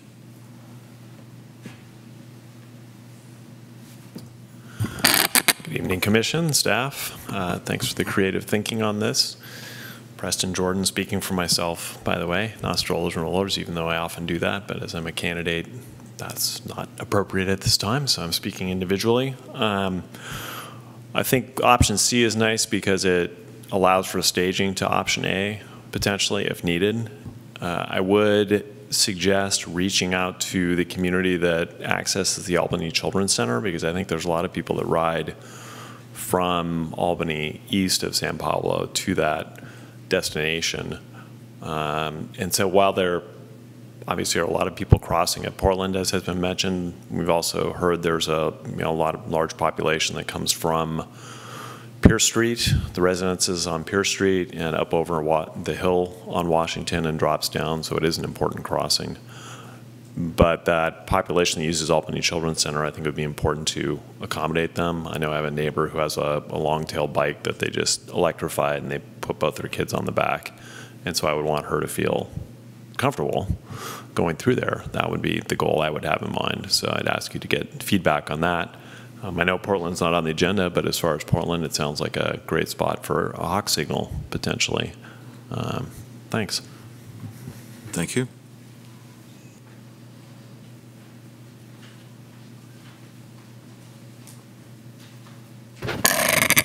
Um, I just have a few questions. Um, so. Uh, one of my questions is I looked like there was going to be 32 and a half seconds for the pedestrians total because it gets triggered at one point and then there's, I'm not sure. I just want to know how long the pedestrians have. I, was trying to add up numbers while you're doing it.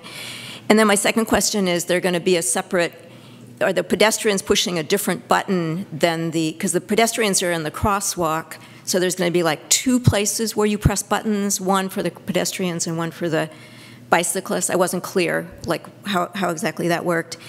And then um, my third third one is actually just um, how about if we didn't have coordinated green lights on San Pablo so that cars had to stop more often and had to slow down? Because it seems like part of the problem is they just truck through, have all these lights. It works great for them, not so great for the pedestrians. They um, so maybe instead of being a fast place, um, maybe it could be a slow street. And then, um, and then my fourth question is just how did Washington come to be the, the bicycle? How, how was that decided? Um, just, just out of curiosity. Thanks. Thank you. So I do, I do not have any more speaker cards. Anyone else? Seeing none, I'll bring it back to the commission. And we had a number of questions. So if we could get you back up at the podium.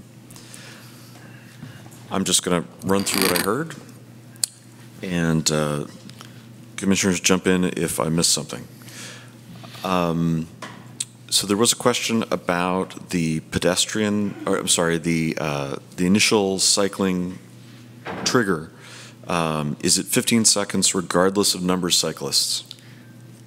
Yeah, uh, I think the question is like, would the bicycle phase, could the bicycle phase be extended when it detects more bicyclists?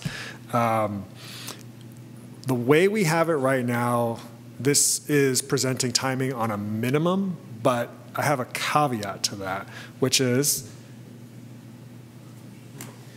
if we were thinking about just facilitating the crossings from Washington to make the right turn, this green time could be as little as six seconds um, because you just need to get the bike started and then there would be enough time here to clear them out. However, we are actually being generous with the amount of green time in this phase because we're actually timing the bicyclists to get through all the way on a left turn because that's a legal movement. Um, that's one aspect. Uh, the other aspect, at least in one direction, being the eastbound direction, is that it's a bit of a downhill. And so if there were trailing cyclists, I believe they would be able to pick up speed at more than somebody starting from a full stop, possibly. Um, and so they could be able to catch up with the bicyclists who had gotten um, to the signal and waited for the green light and started from a full stop. Um, I think in terms of possibilities, if it was a passive detection system with video detection and we could negotiate something with Caltrans where they were comfortable decreasing the San Pablo corridor time by a little bit more, it's worth talking to them about. Um, but I don't have any guarantees that it, it could be done. I, mean, technically it could be done. It's just a matter, it's a trade-off, right? It's a trade-off of there's a little bit more delay to the traffic on San Pablo. If we're willing to live with a little, maybe they're willing to live with just a little bit more. So it's, it's a possibility. Great. Um, another question was, um, I, I think that the question really goes to how wide is San Pablo was the question, but how much space is there in the pockets? Yeah, so um, I don't know exactly. I have the bike clearance distance listed as 250, and so I'm sort of uh, spitballing back here. I think it's about 150 feet between intersections, which would give you two 60-foot pockets plus the tapers. Um, so the pockets, as we've um, conceptualized, would be back-to-back left turn pockets, and it would allow for storage of paint only or paint and um, it could be a raised curb. It would be a small, skinny raised curb, yeah. uh, threading itself uh, between the two pockets. Um, but it could be done. But you're not imagining two pockets side by side creating six lanes on San Pablo? I am not. Okay, that's, That would require parking removal. Fair enough. Um, I just want to mention, um, there have been previous meetings about the designs for the Portland and uh, Castro and, there's one more, Brighton crossings. And uh, as I understand it, those, those plans are a little more far along, so we're not meeting on those currently, um, and they will come back to traffic and safety at some point. Right. And if anyone has any questions, just let me know. We can share what we have on this. Great, thank you. Um, So there were some more questions. Uh, What's the total time for pedestrians to cross? Yeah, it's uh, 32 and a half seconds. Uh, So it would start um, when the San Pablo left turn turns on, and it would conclude when the Washington vehicle traffic uh, finishes. So it would be number three and number four, or also that little sidebar. Four would be east-west pedestrians, so 32 and a half seconds, which is enough time to clear, I think I have it listed, 76 feet um, at three and a half feet per second with a startup interval of seven seconds and not counting the time in the yellow and the red face. So it's, uh, it's according to recommended uh, timing from MUTCD. I'm, I'm sorry, what's the recommended timing from M- MUTC? Uh, sorry, I was just getting in, uh, little too technical. There's a flashing don't walk time, and that's the time needed to clear 76 feet at three and a half feet per second. There's a startup time that doesn't count towards that, and I put that in as seven seconds, which is uh, recommended for commercial corridors. Uh, and then there's the yellow and red time, which sometimes you can count towards the clearance time, but we didn't. So what you're saying is it, it meets the threshold and, Yeah. or exceeds it? Exceeds it a little bit, yes. Great. And Thank just you. to clarify, you said three and a half feet per second. I think if people heard that number, they might have been thinking, I can't walk that fast, but three and a half feet per second is less than two miles per hour. So it's actually a very moderate walking speed, just to clarify. Thank you. Um, so actually, I think I can answer this question. There was a question about buttons, and uh, I think you previously explained that this is a video detection. So unless we specify, Or buttons, or buttons. or it could be buttons. Okay, but they would be located in different places, presumably. They would be because the pedestrians would be situated in one place on a curb, near the curb ramp, and the cyclists would be in the lane, and they're not in the same place, so it would be two. Right, they're separated by the two traffic lanes. Exactly. So Yeah. it's pretty good separation. Um, and uh, and then there was a question why Washington was chosen for this particular treatment. I think I'd have to turn that over to Jeff and Justin on that. It it goes back to the- our original planning in the active transportation plan of creating a bicycle network and trying to create a network where it would serve the community the best and get people where they wanted to go. Um, And um, at that time, the Washington Avenue uh, was identified as the the preferred east-west route across San Pablo. And I was on the transportation, uh, the Traffic and Safety Commission at that time, and, and as I remember it, um, Solano itself was considered a, a little too active an intersection, and we thought that Washington would be a place where a more calm passage could be created. We have yet to see if that's true, but that was Ten is shorter than the other dog legs that we would contend with at the other staggered intersections. I- I believe that's true. I- I'd have to- it's the only street that goes through north Well, with the same name. with the same name, uh, north of, of Solano Avenue.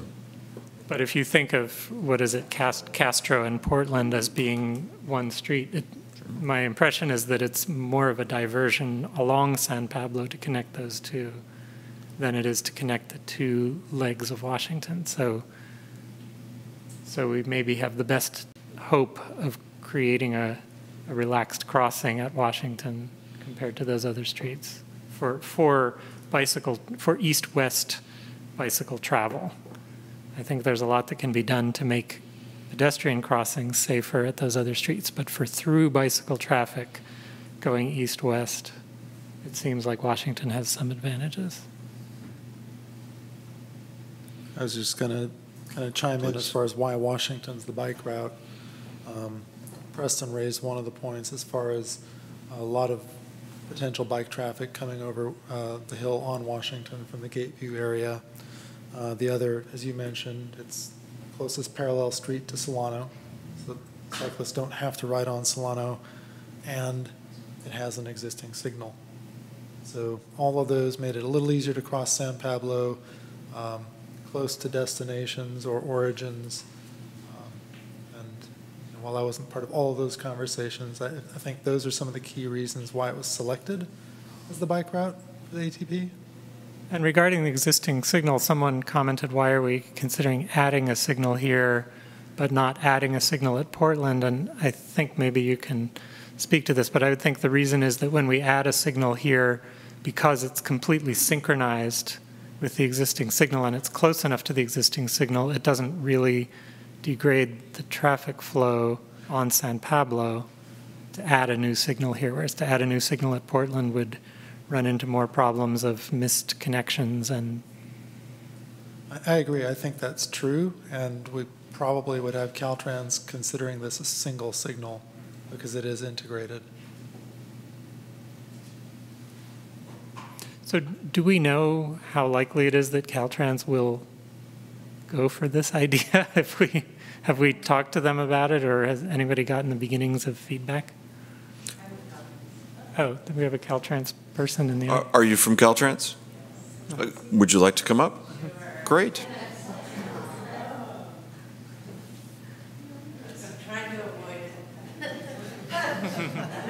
Please introduce yourself. Okay, I'm Vicki Havel. I'm project manager on this project.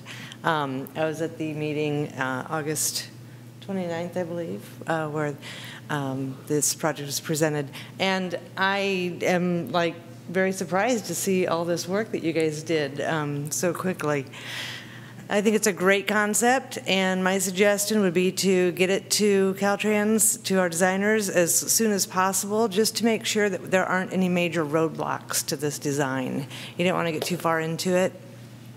Um, I don't have, I'm project management, I don't have the technical expertise to say how likely it is at this point. Um, But if you guys want to bring this over and present it to us soon, it would be great if our traffic and safety and, and bike and ped group could see this and give you some feedback. Can I ask you a question? Um, what, what type of project review do you think this would be, and would it fit in our timeline for um, completing design by, is it June 2019? I'm sorry, what was the first part of the What question? What kind of um, uh, review do you think Caltrans, because there's right different kind of levels of review that you have for I projects? think when we um, gave the feedback for the uh, application for the grant, I believe we said 16 weeks. Do you guys remember? I'm not sure. Maybe it was Robert, oh, Roberts. Um, I believe our designers request 16 weeks. And it's not that it actually takes that long, but it just depends on our workload. And right now, we have a lot. So. Yeah, okay. Okay. Thank you so much for coming tonight and and speaking out. Appreciate that. So, um, given what we heard, uh, it's time for us to express some opinions. Um, Are there further questions? I'll start. Please. Um, I, I do like option C. I think uh, from a perspective of simplicity, it's actually got some pretty good potential as far as the construction of the, the signal. Uh, Getting people to understand, you know, bike versus pedestrian. If you've got two signal heads up next to each other, one's a a red ball and the other's a green bike, you know, maybe we throw some signs up, you know, cars follow car signal, bikes follow bike signal, something that is redundant, because I think just the nature of the signals by themselves is actually pretty clear if someone stops to think about it. The challenge is people don't always stop to think about it. Um, I did want to kind of respond to one of the comment, or some of the comments we've heard on the pedestrian hybrid beacons. Uh, One of the traditional reasons for using them is that they are theoretically cheaper than a full signal because it's kind of a half signal. Um, My experience with building one in Berkeley was it wasn't any cheaper. And I feel like, well, in that case, why don't I just go to the regular signal and, and configure it to work for bikes and pedestrians better than a traditional signal? Which here we have kind of that opportunity with a separate bike lane, and the, the video detection will pick up the bikes in the bike lane. Uh, we can use the, the programming of the video detection to take narrow slices of the image. And so that, you know, one or two narrow slices indicates it's a bike. More than that indicates it's a car or truck or something else, and the, it won't trigger the bike phase. So the video detection can actually differentiate, and that's what we've done at the pedestrian hybrid beacon that we've got uh, at Ashby and Hillegass. Uh, but the placement is, is that much more certainty that the detection will be accurate. Um, one of the things that kind of had occurred to me is I sometimes take this route with my son going to the middle school or high school, um, coming over the hill rather than diverting around, uh, which tends to be if we're running late because that's harder if I haven't stretched. Um, but coming down Washington, turning left onto San Pablo and then right on Portland, which is the route I would take, it's very easy to do with the signal. So With the current signal? with, with the current signal in the traffic lane, uh, my son and I both ride in the street. We see some kids ride in the street, some on the sidewalk. I fully recognize that, and at least for kids, it is legal to ride on the sidewalk. For adults, it's not. Um, Well, actually, it's a commercial area, so it's not technically legal. eh, well, that's true. So that's why my kids don't ride on the sidewalk. I understand. But also, I want them to be comfortable with it.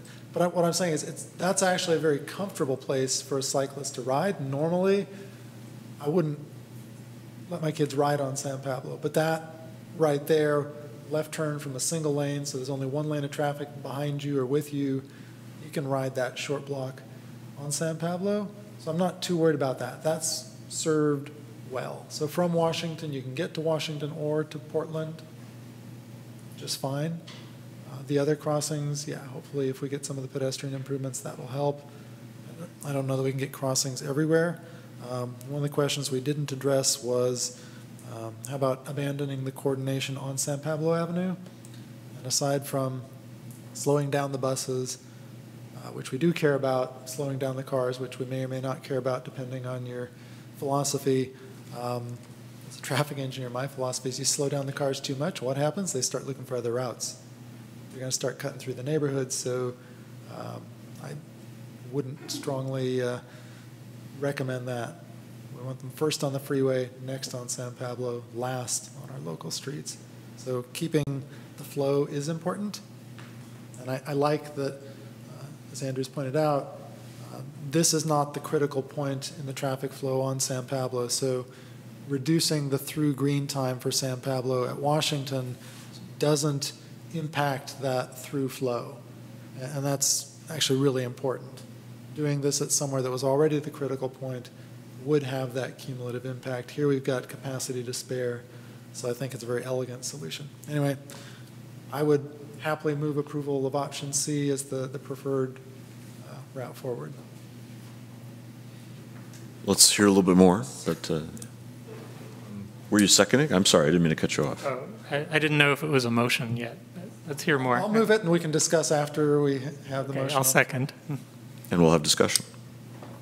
Um, Yeah, I also like the option. Um, I'm, I'm not a big fan of, of trying to put in um, what would be considered for San Pablo unique infrastructure. If we put in, say, a cycle track that's in the roadway, um, San Pablo is, for better or worse, it is the, the through, the throughway, the north-south throughway.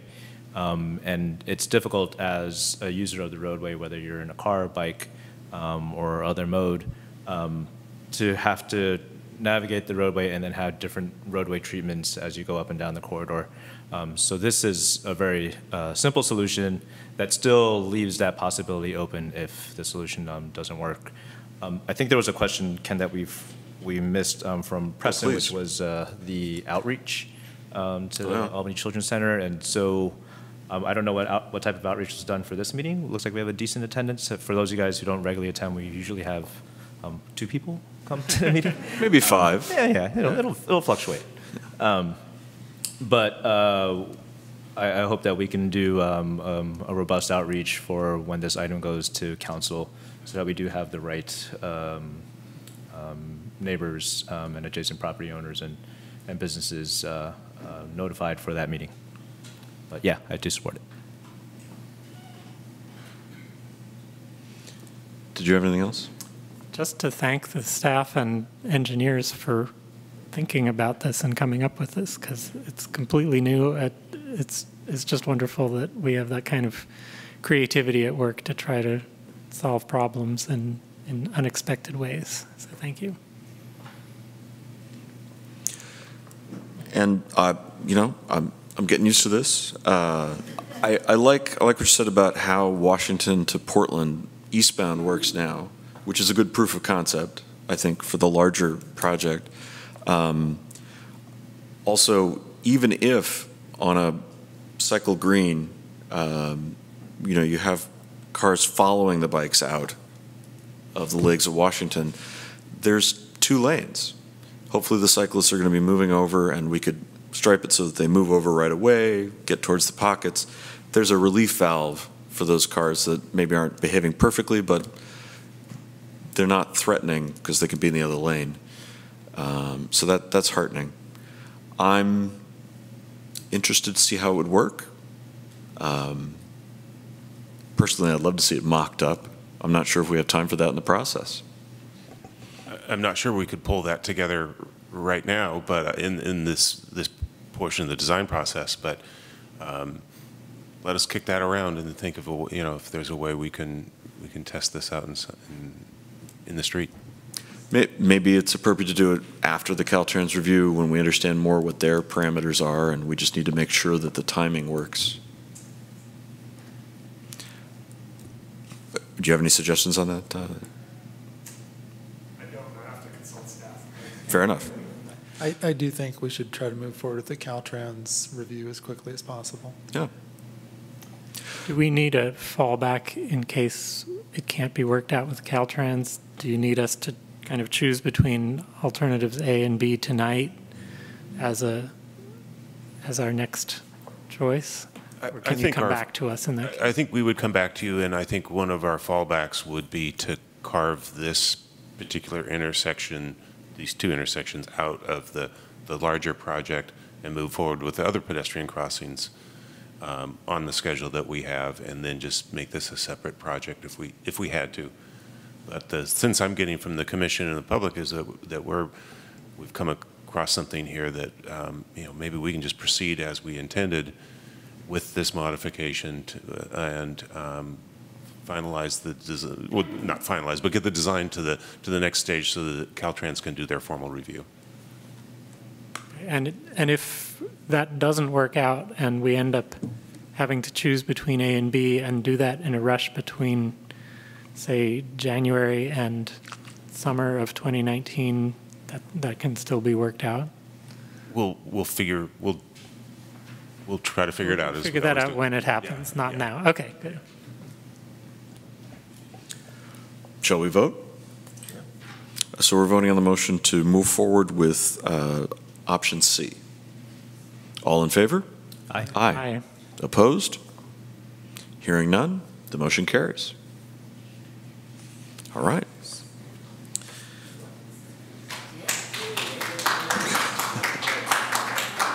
This is where I put in my traditional plug for you to stick around. Um, This Complete Streets project came out of a previous Complete Streets process, and we're going to go into another Complete Streets process right now at item 6.2. I'm trying. I'm trying. So thank you all for attending. We hope you stick around. We are talking about more interesting things. In fact, I think we're going to talk about back-in angle parking. We're Anybody going to- have any opinions on back-in angle parking? We're going Stick to talk around. about parking. Does anybody have any opinions about parking? I'm just trying to get their attention. So, if I can ask you to talk outside, thank you very much. We're going to keep going. Moving right along with item number 6.2. This is the presentation of the draft concept for Solano Avenue Complete Streets. and it's the plan. And uh, for this, I need to let you know that I live within about 500 feet, definitely, of the intersection of Solano and Santa Fe, and very close to the intersection of Solano and Curtis. So, we're going to mostly talk in generalities tonight, but if the, those particular intersections or the space between them comes up, you might see me disappear out of the room and recuse myself, at which point Robert here will automatically take over the meeting and continue in my absence. I'll be watching on a monitor in another room and we'll step back when it's appropriate. Any problems with that from the dais? No? You guys okay? Great. Harry and I have talked about this before. With that, I'm going to turn the meeting over to staff for item number 6.2. Yes, um, good evening. I'll be fairly brief um, in my remarks. Um, just this, where we are right now on Solano Complete Streets, this was a process that started earlier in the year. Uh, we have a grant from Caltrans to develop a complete streets plan on Solano Avenue from Masonic up to the city limit line, which is about Tulare. Um, we have been working with Toole Design Group since about February. Um, we had our uh, Community Advisory Group meeting in April, and most recently last week, we had a public workshop in May. And for any of you who made it out to Solano this past Saturday, we had a pop-up demonstration to um, give an example of what, uh, you know, a curb extension would look like with some greenery, and we uh, collaborated with Flowerland on that effort. Um, so we're back uh, here tonight um, to give you some um, conceptual plans that have been uh, prepared thus far and to get your feedback and take public comment. Um, and Brooke uh, Dubose from Toole Design Group is here tonight to uh, give you an overview of where we are at this point in the process. Excellent. Thank you, Anne. Um, should I pull it up?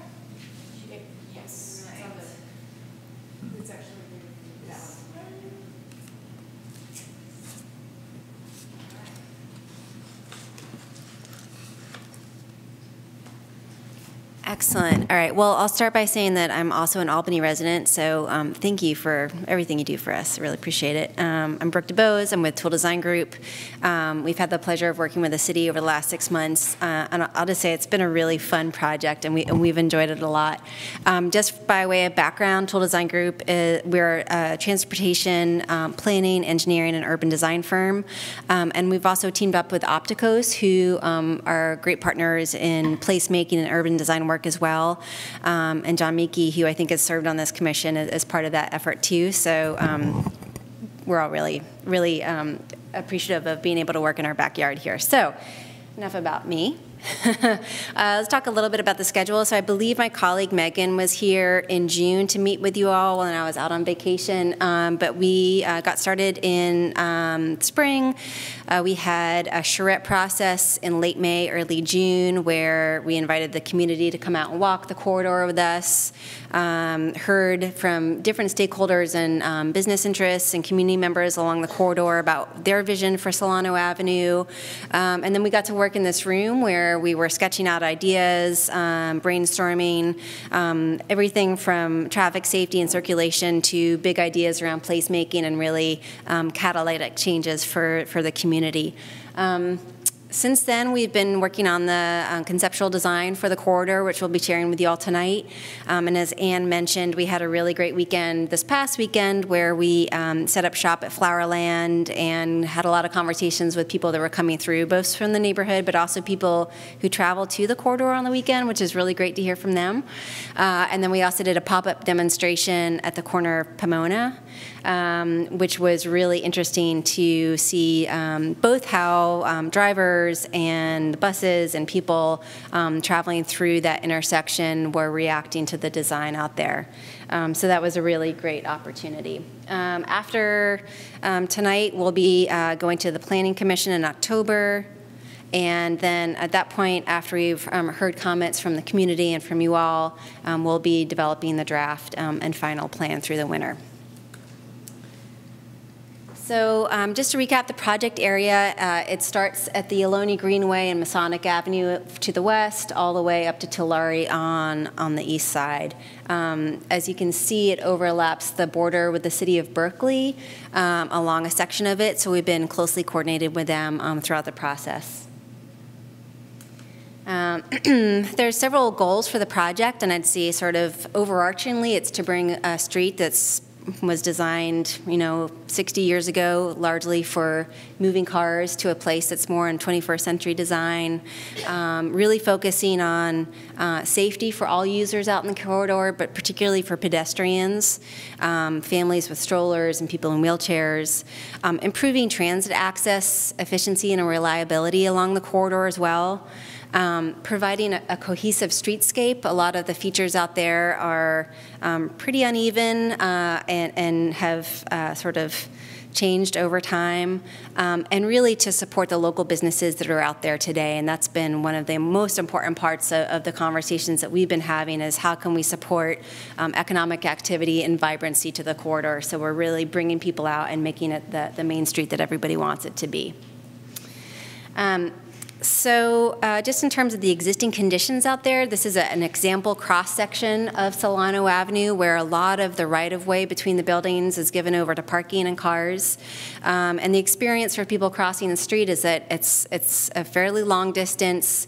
Um, we know that a lot of the cross-sections are either offset or T-intersections, um, and it, it's a challenging environment to, to get across there.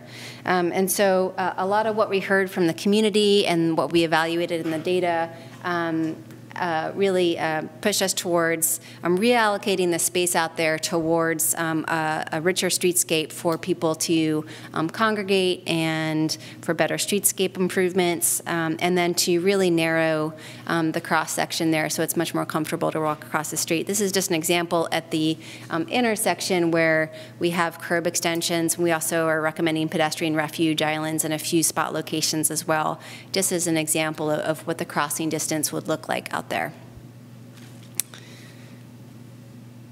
Um, through the, the mid-block sections of the corridor, we have um, angled parking, and so the, the travel lanes there would be 15 feet wide to accommodate people um, pulling in and out of those spaces.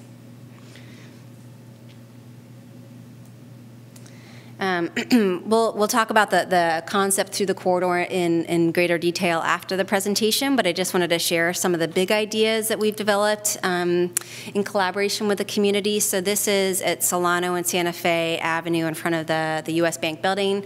It's a, it's a pretty wide sidewalk out there right now, and if we're recommending more curb extensions along the corridor, we really want to make sure that they're programmed um, in, in places that people really want to be. We don't want to just be recommending concrete for concrete's sake. So this is just one idea of how we could really transform the bus stop area there into a place where people want to congregate and linger, and, and up on the, the top right is what it looks like there today. And I believe this bank building is also part of your general plan as um, a, a re, you know, a place to be rezoned in the future. So great opportunity to collaborate there.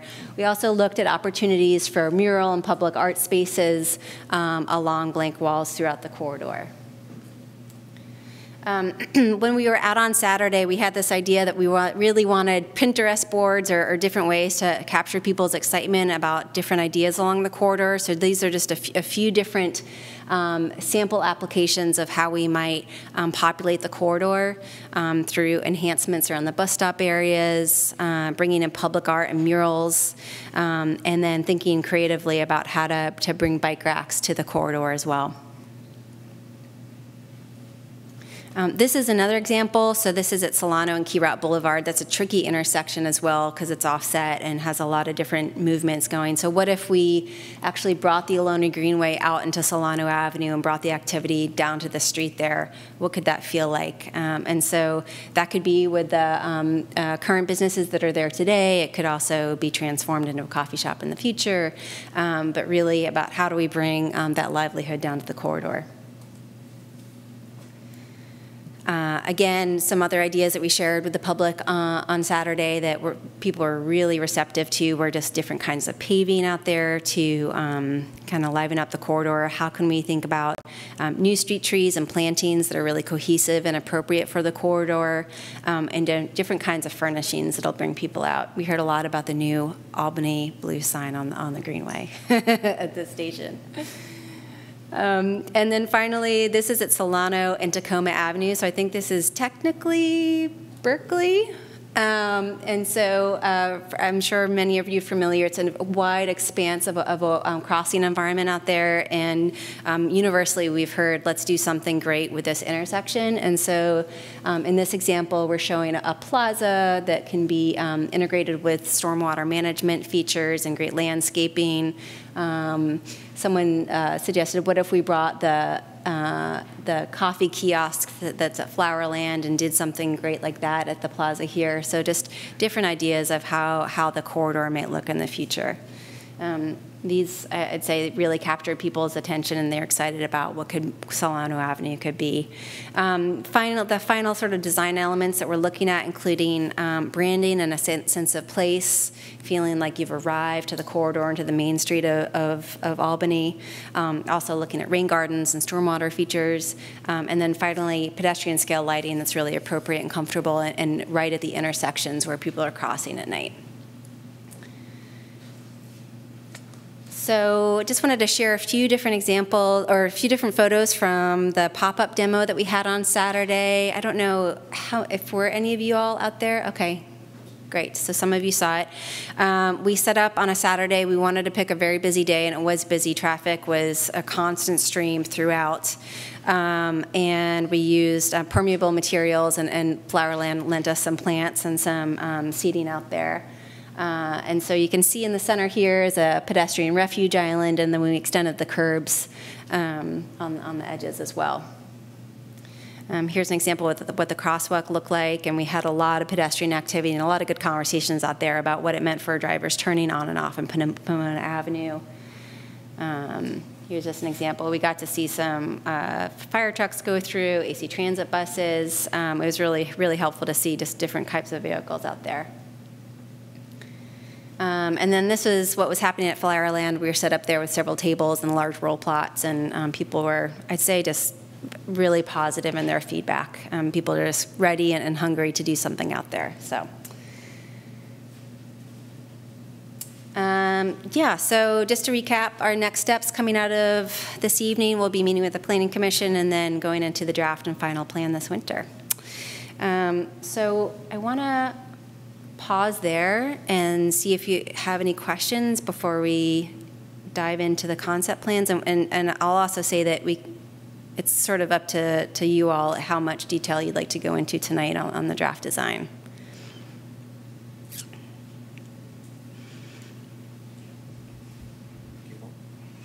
I think you'd be surprised how much detail we'd be willing to go into.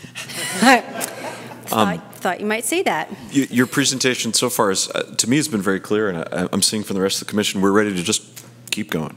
All right, great.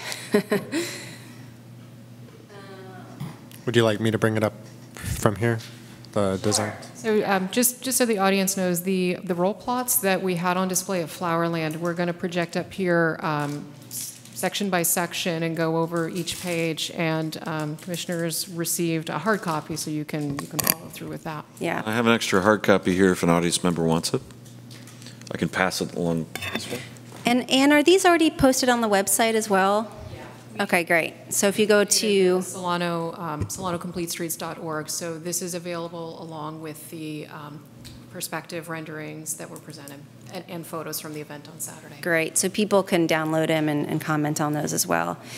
Um, okay, well, I'll say that um, the we've just started conversations with the community about the draft design uh, a week ago, and we've already gotten some really good feedback on how we can tweak it based on people's um, experience out on the corridor and some good questions as well. So um, looking forward to, to, building on that tonight. So I'm going to start from the west heading east. Um, and the first uh, intersection we're going to be talking about um, is at Key Route Boulevard. And this is the one uh, place along the corridor where we're showing two alternatives there.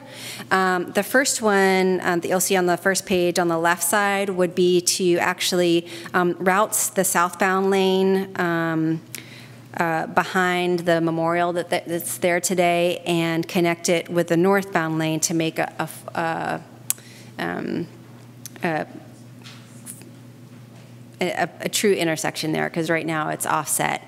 Um, That would give the opportunity of creating some more public space there, and, and as we showed in the rendering, um, and sort of bring the Ohlone Greenway out um, and help kind of rationalize vehicle uh, movements at the intersection there.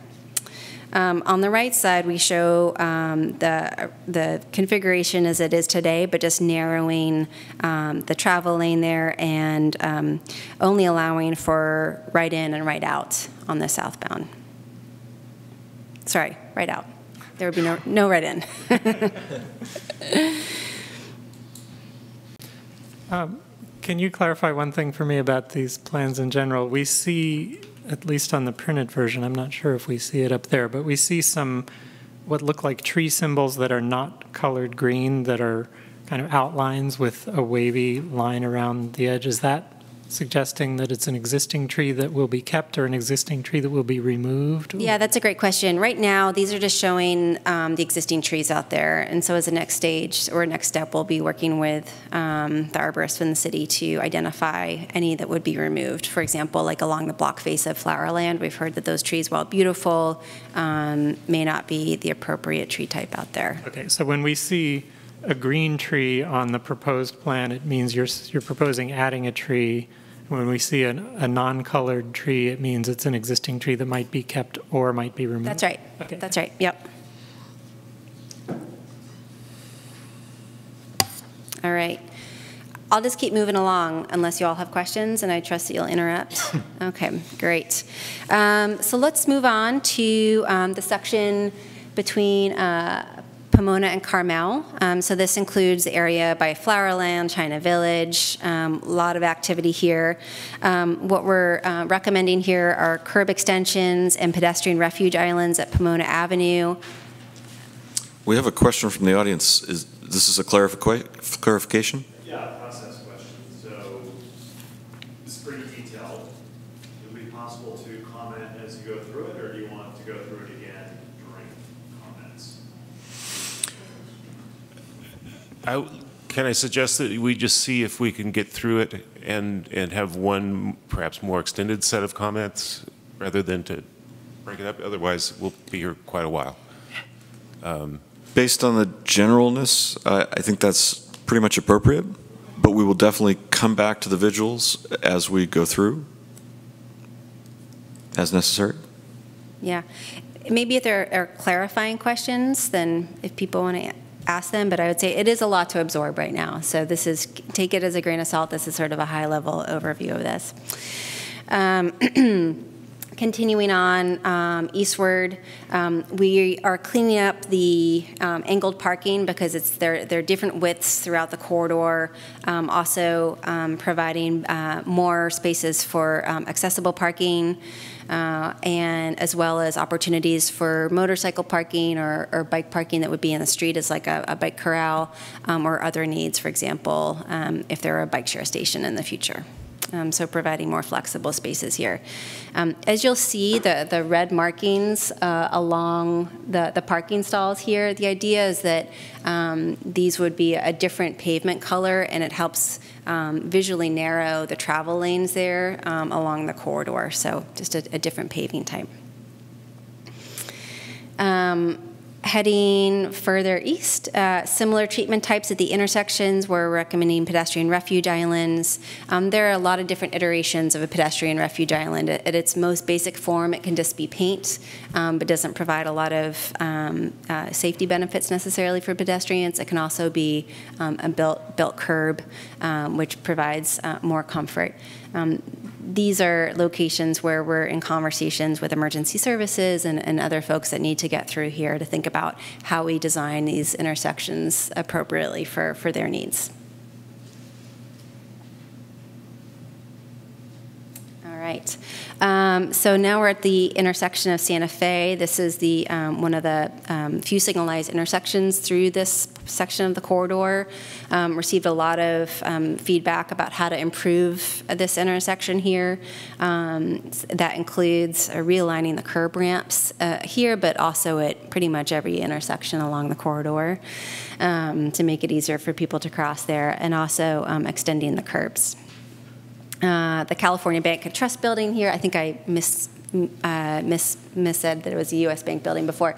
Um, this is where uh, we're imagining a, a lot of opportunities for enhanced bus stop there um, and placemaking and urban design uh, elements there. Um, further east, uh, along to Curtis Street, next to the Safeway, uh, we heard a lot from folks about how this is a very busy intersection for people who want, wish to cross, also a desirable place for bicyclists to cross.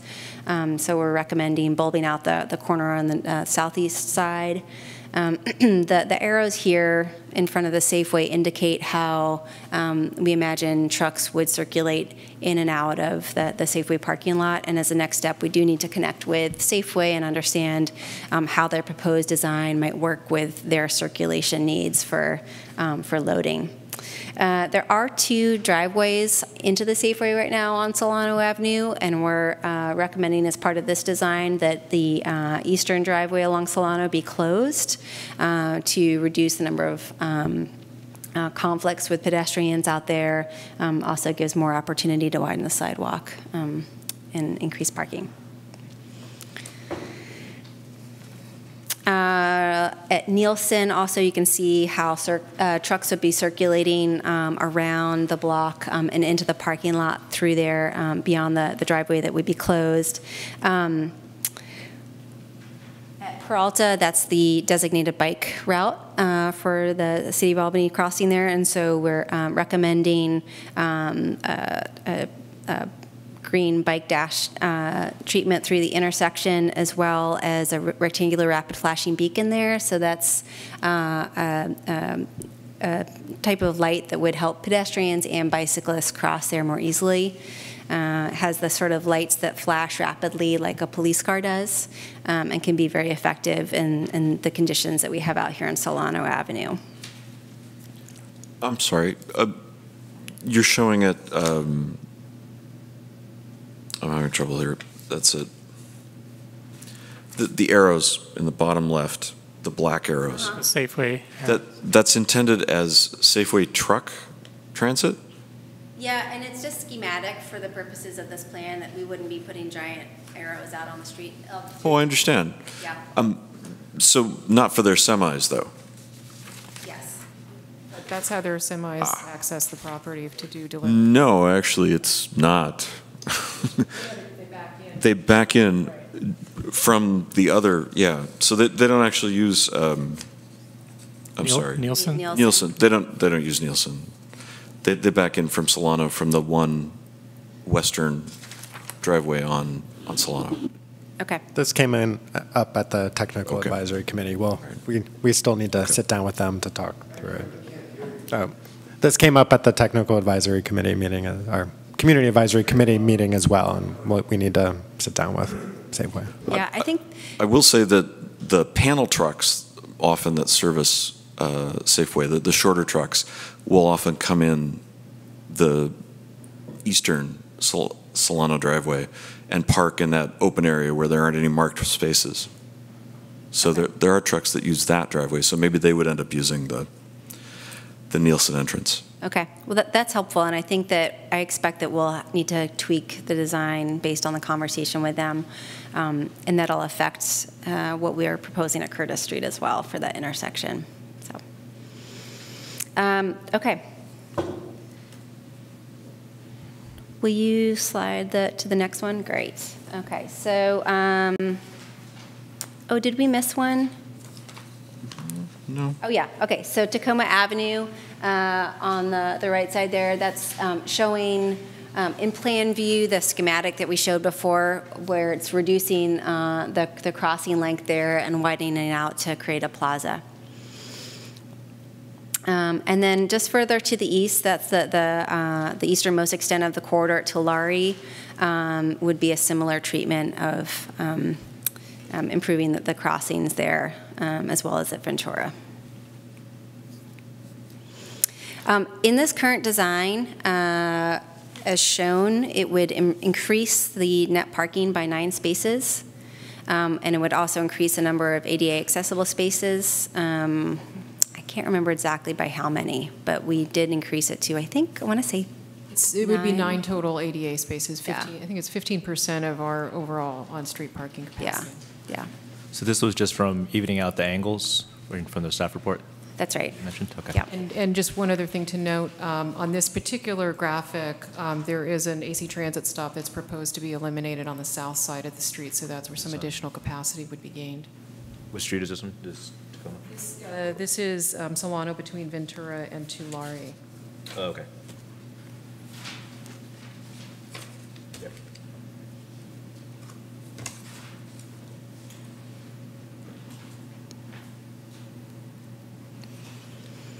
Okay. Thank you. Um, At this point, I'd like to suggest that the commission ask any questions, and perhaps we could flip back to the first diagram and start there. That sounds great. Uh, Does the commission have any general questions or questions based on this section of the street? One, one general question is, did you look at um, different angles of, uh, of angled parking um, to potentially widen out sidewalks? Or were you being sensitive to maintaining the quantity of parking or or increasing the quantity of parking? Uh, That's the trade-off I see. That's a very astute point. Um, the, this, this current draft uh, is shown, and it, and it largely is around balancing those two things, but it also um, does maximize parking. There are other options that could, for example, widen the sidewalks in front of Flowerland further, um, but that would um, decrease the number of parking spaces along a couple of those blocks. And, and so, I guess we're in like early concept. Um, So if we were, if the commission gave you instruction to look at that, how would you carry that along? Would, would there be multiple alternatives? Or if we were to look at, say, widening sidewalks? Yeah, um, so I, I think it's just a couple of block segments where the sidewalks are still somewhat narrow um, because we have widened them in other places. It wouldn't take very much time for us to look at the different options to um, change, for example, from parallel to angled parking um, to show what the effects of that would be. Um, and we've started the conversations with Ann and Justin about that already. So, yeah. Just to clarify your point, are you talking about different angles of angle parking, or you're talking about angle to parallel? Um, I think any, any varying degree in between, um, if we were looking at widening sidewalks um, as a goal. On the topic of angle parking, uh, I know we've ha- had some comments about back-end angle parking. Um, And my experience has been that typically uh, has at least one issue, which is the, the rear overhang of a car. So the furnishings zone tends to be intruded into. Um, If we wanted to contemplate that, would we try to extend the curb out, basically narrow the street to create sort of an overhang zone? Or do you have any thoughts on what could be done to achieve that? Yeah, that's a good question. I don't know that we've gotten that far along in the conversation um, because this first iteration preserves the parking as is, um, but we can certainly take a look at that and what a kind of right away we want to think about for that overhang.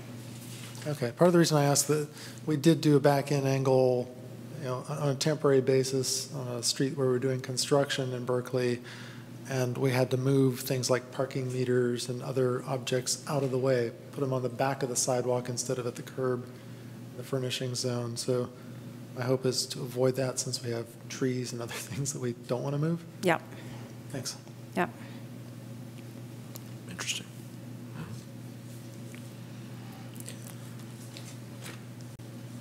Do you have? No? Okay. Um, I have a question on the intersection of Masonic and Solano. Um, It, it looks like the, uh, the project limit is just to the west of that intersection. There's a real difference in the distance of the crosswalks to the curb bulb outs, or to the edges of the bulb outs. The, the southern crosswalk remains uh, very offset from the intersection. Is that intentional? Yeah, that's a good question. So you're talking about this crosswalk right here? Um, I would need to confer with our design engineer about that, but I know that some of the crosswalks are set back on the side streets because of um, cars that kind of inch out into the roadway to make their turns onto Solano um, and trying to avoid conflicts between um, those cars that are like kind of basically sitting on the crosswalk there. So that might be one of those situations, but So can you extract a little more? um, You're trying to leave space for the crosswalk behind a car that has inched forward? that's right. Okay. Yeah. So what, what's the thinking in which ones are close and which ones aren't? Yeah, that's a good question. I would need to come, I would need to talk with our design engineer in a little bit more detail um, to answer that. And I'm not sure, I mean, to be honest, I'm not sure. It might be a utilities question at that specific location about why it's pulled back. Um, There is an existing curb cut on the west edge there that is located in that exact spot. Yeah, Might have just not gotten changed in the plan. yeah. But we can certainly look at bringing that crosswalk further north, if that's kind of the second part of your question. I'm just curious what the thinking is. Yeah. I'm also interested in the concept of, um, as we, I'm trying to do this without making an opinion, as we uh, add more and more uh, ADA-based ramps, we have made it easier for people to do things like skateboard and ride bikes along the sidewalk. And it's certainly not legal for anybody to ride either of those things in the commercial zone. And it's dangerous because doors open right onto the sidewalk. Um, Is there a way to reinforce that that's not appropriate without making it less, significantly less uh, attractive to walk? or- Yeah, Or uh-huh. roll your stroller? Yeah, that, that's a really good question. Um, I think that there's probably a few different answers to that. One is making um, the infrastructure for, for example, people who bike much more attractive so that they're not getting on the sidewalk. Um, the skateboard question is kind of a, a- a different a different beast. Um, I'd say that. Um, the thing that, that probably deters that type of activity is a lot of people out there, street furniture, you know, kind of creating a busy street life that uh, makes it difficult to uh, move freely on a skateboard or a scooter or something like that. Um, those things can also be addressed through signage like they have in downtown Berkeley. Um, moderately successful, but I'll let Fareed answer that. um, or you can also do it through enforcement or encouragement. Um, so no single silver bullet on that answer. But I would say that on Solano Avenue, the curb, the curb ramp issue is so egregious that um, it's going to be a really good thing for everybody once that's fixed. So. Okay. Just for practical purposes, I'd like to propose that we go on to the, the next diagram, get input from the commission, and then have a period of public comment, and then do another cycle for the part I'm recused for, and then do a, a last cycle for the, the remaining two pages. Great. Did any of us have any um, comment one way or another on the uh, the alternatives for key route? Yeah, I love love your input on that. So, comment-wise, yes. But we're not making comments. We're, we're we're not making comments. I, I can form it in- as a question. Um, Jeopardy? Like it's Jeopardy. Would your um, more aggressive alternative involve removing any of the trees behind the memorial? Because the trees apparently identified with individual fallen Albanians in wars. Right. Yeah, I understand that there's a lot of sensitivity around that area. Um, as it's shown, it would not touch that area, and it could be um, left intact in perpetuity for as long as the, the community would like it for it to be. Okay. Did that cover your, okay, right, all right. Any other comments or or questions about sheet one?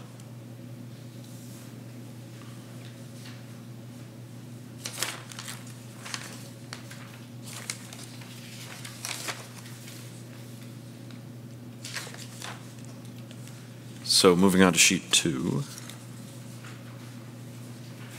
questions about sheet two?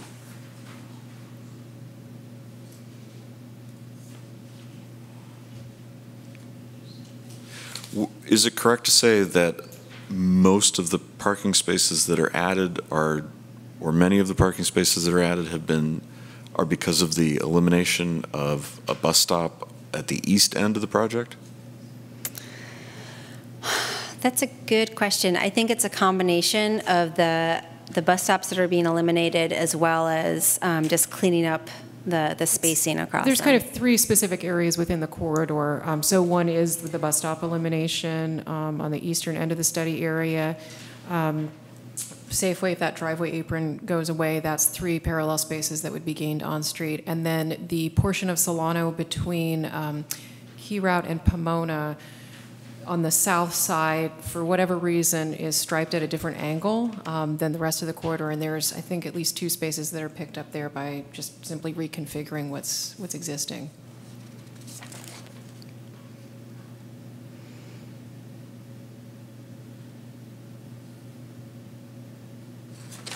Okay. Other questions about sheet number two? Yeah, um, this has an example of it. Um, for the bus stops, did you did you consider? Um, it, it, looks like every bus stop is on a curb extension now, which is great. Um, but uh, with the curb extension, the the bus will block the lane of travel when um, stopped. Um, so, did you or do you have to make any consideration? to whether or not the bus stop is on the near side or the far side of the intersection um, when stopping traffic behind you. I know certain cities um, and city staff are sensitive to that, um, and maybe on Solano we're not. Um, but when you have a far side uh, curb extension bus bulb, then vehicles would be queuing behind the bus in the intersection.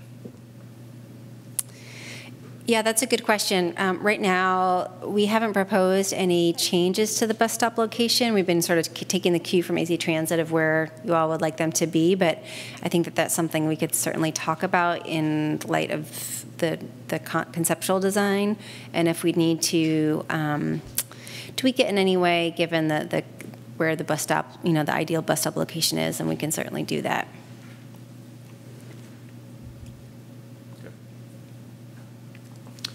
Are there any further questions from the commission on the first two sheets?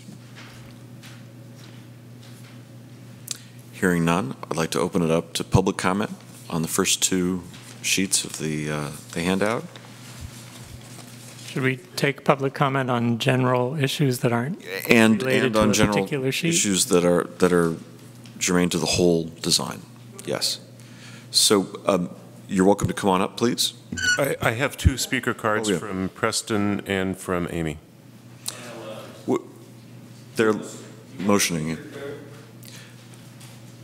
We can take it after your comment. Three things. Come on up to the microphone so, so we can get it recorded. Yeah, sorry, my name's Tom Newton. I live in the 900 block of Santa Fe and have for 48 or 9 years. Um, there's three things I want to make sure that we consider. And, and at the top of Santa Fe at Solano, uh, there are pedestrian walk wait signs going north and south, but not east and west. And I can't tell you how many people I see just moronically stepping off the curb because they, don't, they aren't told not to. Uh, do the lights include Sir, those? Sorry, I'm going to have to interrupt you just a sec. If you're going to talk about that, I need to leave the room. Well, but- No, no, I- Robert's going to take care of you here. Okay, fine. Anyway, so I just need to know that the traffic signal at that corner is going to include, it never has had walk, wait going north-south. It does have it east and west, but it ought to include those. It would save a lot of people getting run over, I would think. Uh, The other thing, another thing, is the street trees that we're going to plant, it ought to be specifically noted that they're not to be liquid amber because they've ripped up sidewalks all over Albany. And I, including in front of my house twice, but we don't want to plant those anymore. We don't, they should be banned. Uh, but then that would be admitting, anyway. So, oh, and then the different pavement color I think is a good idea. I, I saw uh, the demonstration at Pomona on Saturday, and, and it was explained by the consultants that it would help at least make the street traffic lanes look narrower, slow people down, that's fine. But I wonder how they're going to color the asphalt. I think in a few months or a year or something, it'll look like, I'm afraid that it would look junky, you know? I mean, the paint will come up and it'll look like some bad idea from Phoenix or somewhere. Um, But, so those three things, the pedestrian signals at the top of the street at Santa Fe and Solano. Don't plant liquid ambers, because we're all tired of paying for the sidewalk repair. And the pavement color, I mean, that was explained, there were several different ways you could do that. You could put brick down there, or, or it'd be expensive and different, uh, anyway. I guess you could use really thick paint, I don't, the idea's a good one, but I don't want it to look like crap in two months. That's all. Thank you. Do we have anyone who has uh, other comments on Solano and Curtis or Solano and Santa Fe? Um, Those are, uh, he's back, but, so he doesn't have to keep popping in and out. So if we have any of those comments on Santa Fe or Curtis, we should take them now. Anyone? Well, we had actually planned to take them when we're dealing with that particular sheet. Do you mind going back in and out twice? Because we already, since we already started. Okay. Come on in then. Hi, I'm Amy Smolens with Albany Strollers and Rollers. Been a part of this process throughout, so I really appreciate the chance to give input. Um, The Pomona and the um, sidewalk on the south side of Solano between Pomona and Carmel is pretty much the worst, narrowest, windiest, most user-unfriendly piece on Solano Avenue, and you can't walk two by two, and I can imagine if you're in a in a wheelchair or with a stroller, it's, it's really tough. So um, you indicated that the huge trees may or may not be taken away depending on um, input from the arborist. But um, if you remove the median pedestrian islands, you can certainly widen the sidewalk regardless. And I think that's a place where you, you need to, uh, the sidewalk needs to be widened um, in front of Flowerland in those two blocks. Um, And that's it for this section here. Next section later, thanks.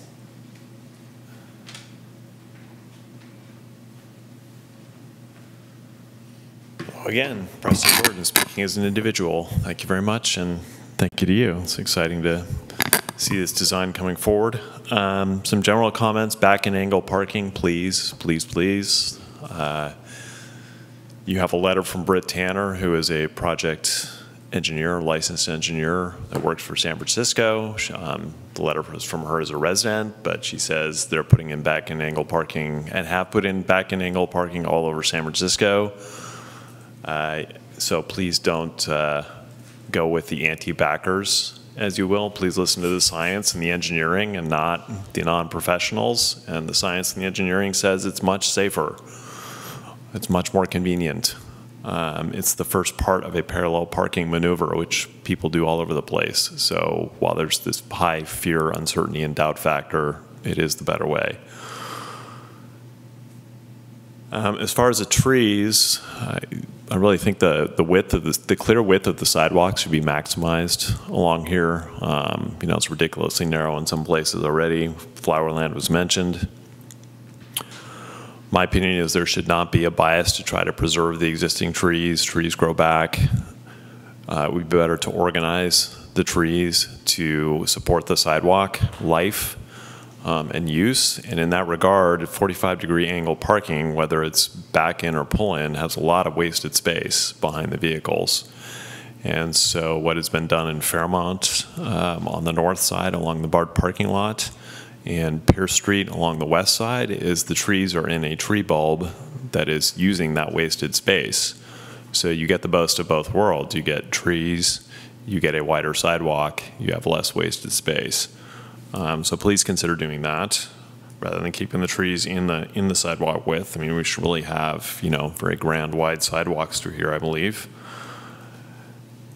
Um, the median refuges, again, it seems like biasing towards widening the sidewalks, which would be possible if the median refuges were eliminated. Um, and what the median refuges being there does is it makes for a wider street or a wider lane in between, you know, mid-block or along the block, which is going to tend to increase speeds. Um, it seems like on Solano between Masonic and San Pablo, not having the median refuges, but instead having the wider sidewalks and the shorter crosswalks works out pretty well. Now the slopes are steeper here, so motorists tend to pick up more speed westbound. Um, so it's a bit of a trade-off, but I still think having the wider sidewalks might be the bigger advantage.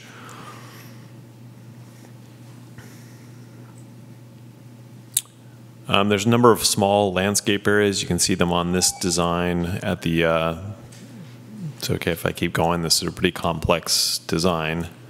All out. Okay, thank you. Um, there's a lot of small landscape areas proposed at the edges of the bulb outs. And you can see for walking along Solano, that is, they're set up to create very narrow access ways to the crosswalks. There's no dimensions on this plan, but I would guess that's four feet wide. That's ridiculously too narrow for the amount of uh, sidewalk users going up and down Solano. That would basically create a choke point at every block. Um, also, these landscape areas are going to be kind of a maintenance headache. I've been out with the Blue Glove crew, and these landscape areas tend to collect garbage and be a pain, real pain in that regard.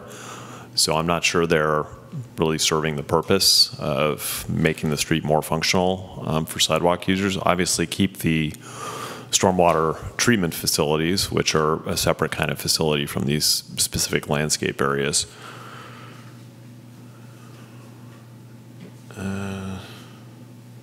The the stop bars on the side streets. I mean, I think the crosswalks at Masonic, uh, parallel to Solano, should be brought closer into Solano because that's there's a signal there, so that, that should be some more standard. Um, I would say you should look in detail at where the stop bars and the crosswalks are on side streets where there isn't a signal. I know on Solano between Masonic and San Pablo, there's a problem of them being so, being kind of in the worst position where they're far enough back that motorists have to pull forward in order to be able to get the sight line they need to pull into Solano or across Solano. But they're not far enough back that when somebody pulls forward in their motor vehicle that they're clear of the sidewalk. They're actually blocking the sidewalk. So it seems like they should either the crosswalk should either be, you know, moved towards Solano or away from Solano, but not kind of that that middle area. Um, um, specifically on the key route alternative, I don't know if you can go bring that up by any chance. Yeah, so on the alternative, um, there's a median shown on the west leg, and I'm quite concerned. You know, right now there's sort of an informal left turn situation, so that people who are headed through can kind of squeak their way through. Um, You're thinking about eastbound vehicles yeah, turning east north onto Key Yeah, sorry, I apologize. I probably mixed that, but um, yeah, so eastbound vehicles. So I'm concerned that by narrowing that and Key Route being I think a collector, if not a minor arterial. I'm not sure which it is in the general plan. There's not insubstantial volume of left-turning motorists there. And so when they stop to make that turn, it's so close to Masonic, it's basically going to gridlock potentially, or at least back, you know, way up down down Solano eastbound. So I don't know if a left turn pocket there is warranted, but I you know, something. I wouldn't eliminate the possibility for a through motorist to get by uh, left turning motorists there.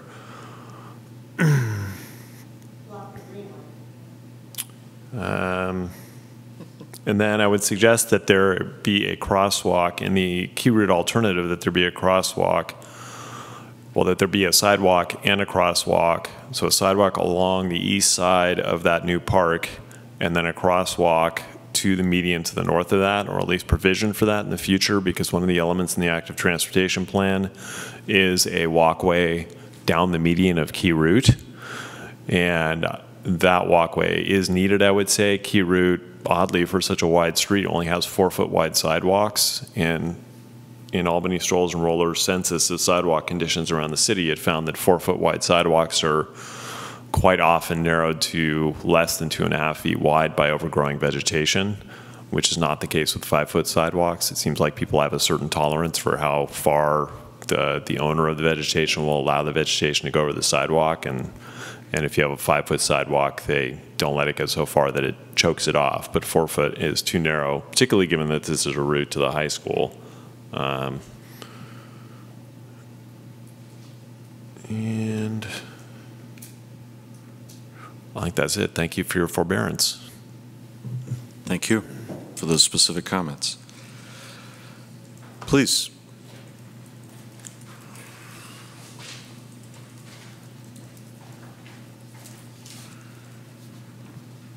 Hi, my name is Philip Chen. I live on the 800 block of Pomona Avenue.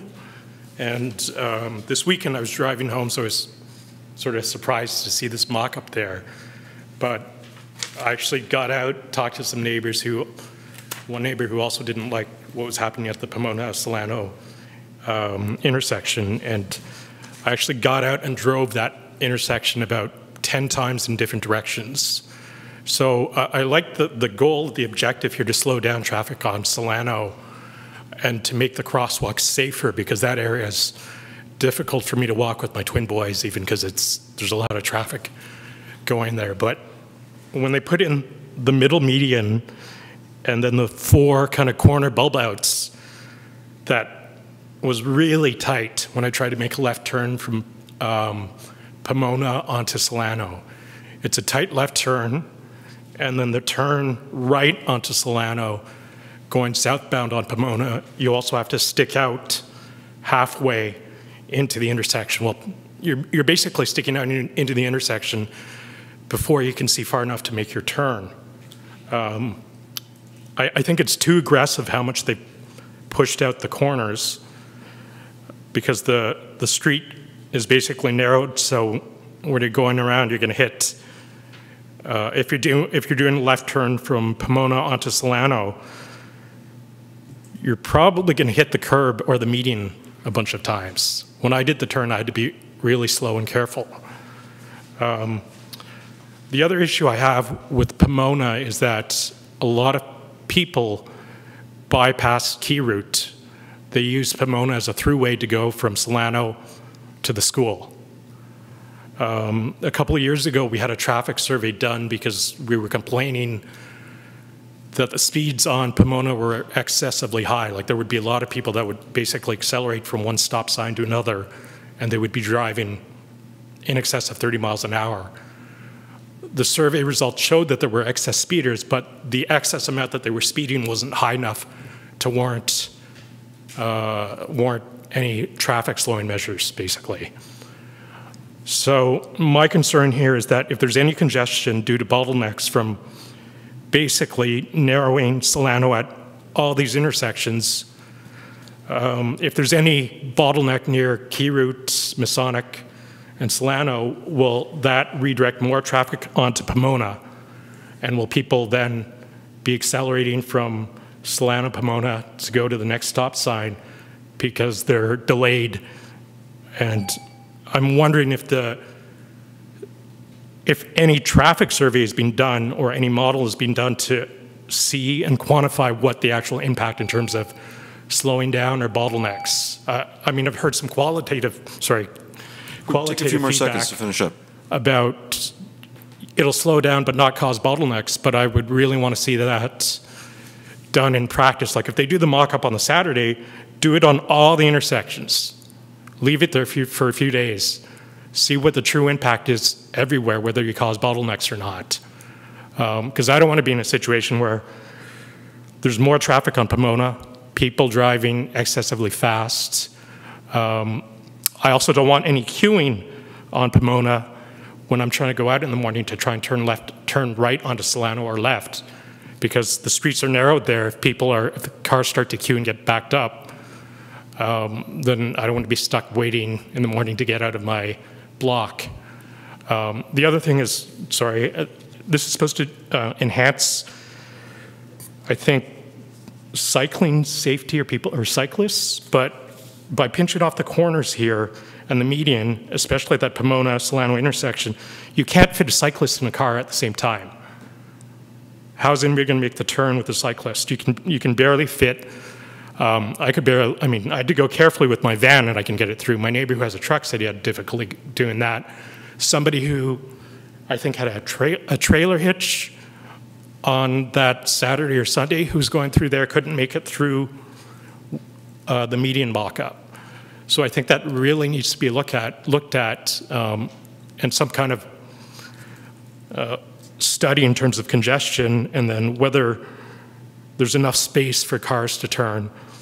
Um, and I would want, if this is all going to be done, another traffic survey done on Pomona to make sure what the impact is on speeds there, because it's right it's, it's too fast. People bypass Key Route to go onto Pomona, and if if you block the left turn from Key Route onto Solano now, people coming from El Cerrito that are going down Key Route aren't going to go there.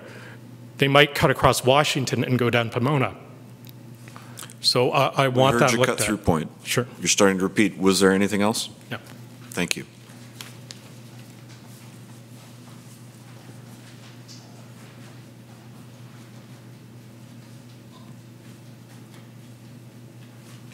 Hello, my name is Judy Kwan. I also live on the 800 block of Pomona, and I also was kind of surprised by the mock-up on Saturday.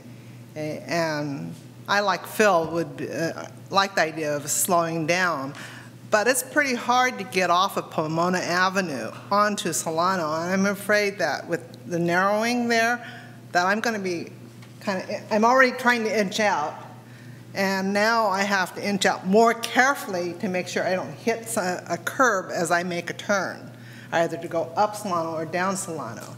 Oh, And I'm also looking at what happened when we did the work on Marin and the effect it had on the side streets. That on, no, like that street before Jackson, where people like me turn so that I can and go down without having to wait so much at the lights down near San Pablo. And I'm afraid that we might have some unintended consequences of slowing, making it a little safer on Solano and not so much safer on our side streets. And we do have a lot of foot traffic on our street. Like the, you can just see the high school students going there, you know, in the morning, and afternoon. The parents driving their kids to school a little fast because they're late. And so I just would like to ask that there be some kind of study, not just a conceptual idea of how it should work, but how it actually works. If there's more mock-ups like ask, Phil's asking for, or some kind of actual data that shows how will this work. Thank you. Thank you.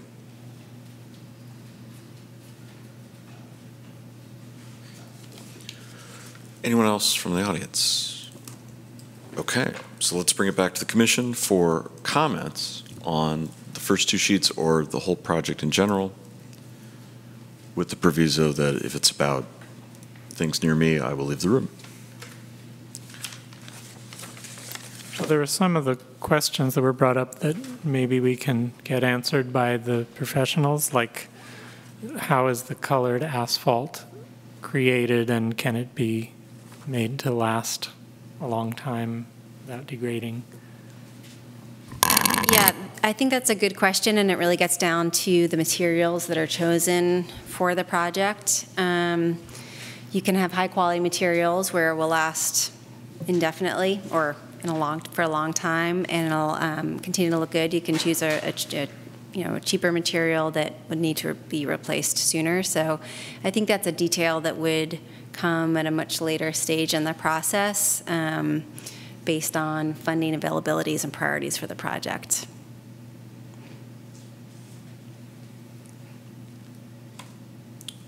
So, uh, Harry, did you want to ask any other questions Um, that were brought up? Let me see. No, I guess the rest of my notes are for the, well, not really questions. I, I just think we have to wrestle with the, the overall priority in our mind of whether we want more sidewalk width or more um, more treatments in the street, such as medians and trees. Uh, uh, All of those things are kind of competing. The medians, the trees, and the sidewalks are all competing for the available space. And I think we've heard from at least some people that they feel this design goes too much in the direction of adding medians and adding trees and would be better served by devoting more of the width to sidewalks. So I, I don't mean to be right now expressing an opinion on that, but just kind of No, no, you, this is a time for opinions, for I- But I don't know what my opinion is, so. Okay. I'm just trying to bring that question to the forefront, so I- I'd like to hear everyone's opinion on it. Um, there was a question about, um, or a concern about maintenance, and maybe that's something you can talk about. Um, looks like there's a lot of, uh, of uh, street furniture enhancements um, and landscaping, and so were there ideas about how that would be uh, maintained? Is that you know, public-private partnerships? Is that city or whoever it may be? Yeah, uh, another great question. I'd say that this, uh, at this point, it's really kind of more focused on sort of the inspirational vision for the corridor and what could, what it could be. Um, so it's fairly unconstrained in terms of, you know, in terms of the ideas that I shared in the, in the initial presentation, like you could go all the way to the to, to one end and, and have an, an incredibly vibrant, artistic, public, you know, thriving public space, but that's going to cost money um, to install and to maintain.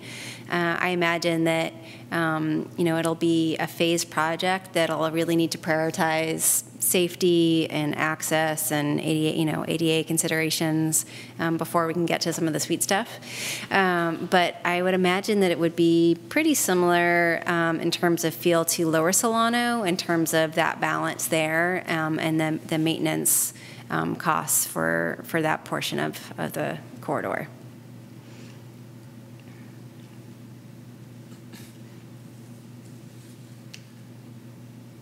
I guess here's another general comment that came up from some members of the public um, about the, um, at what stage is it appropriate to start indicating specific bike parking accommodations on these plans?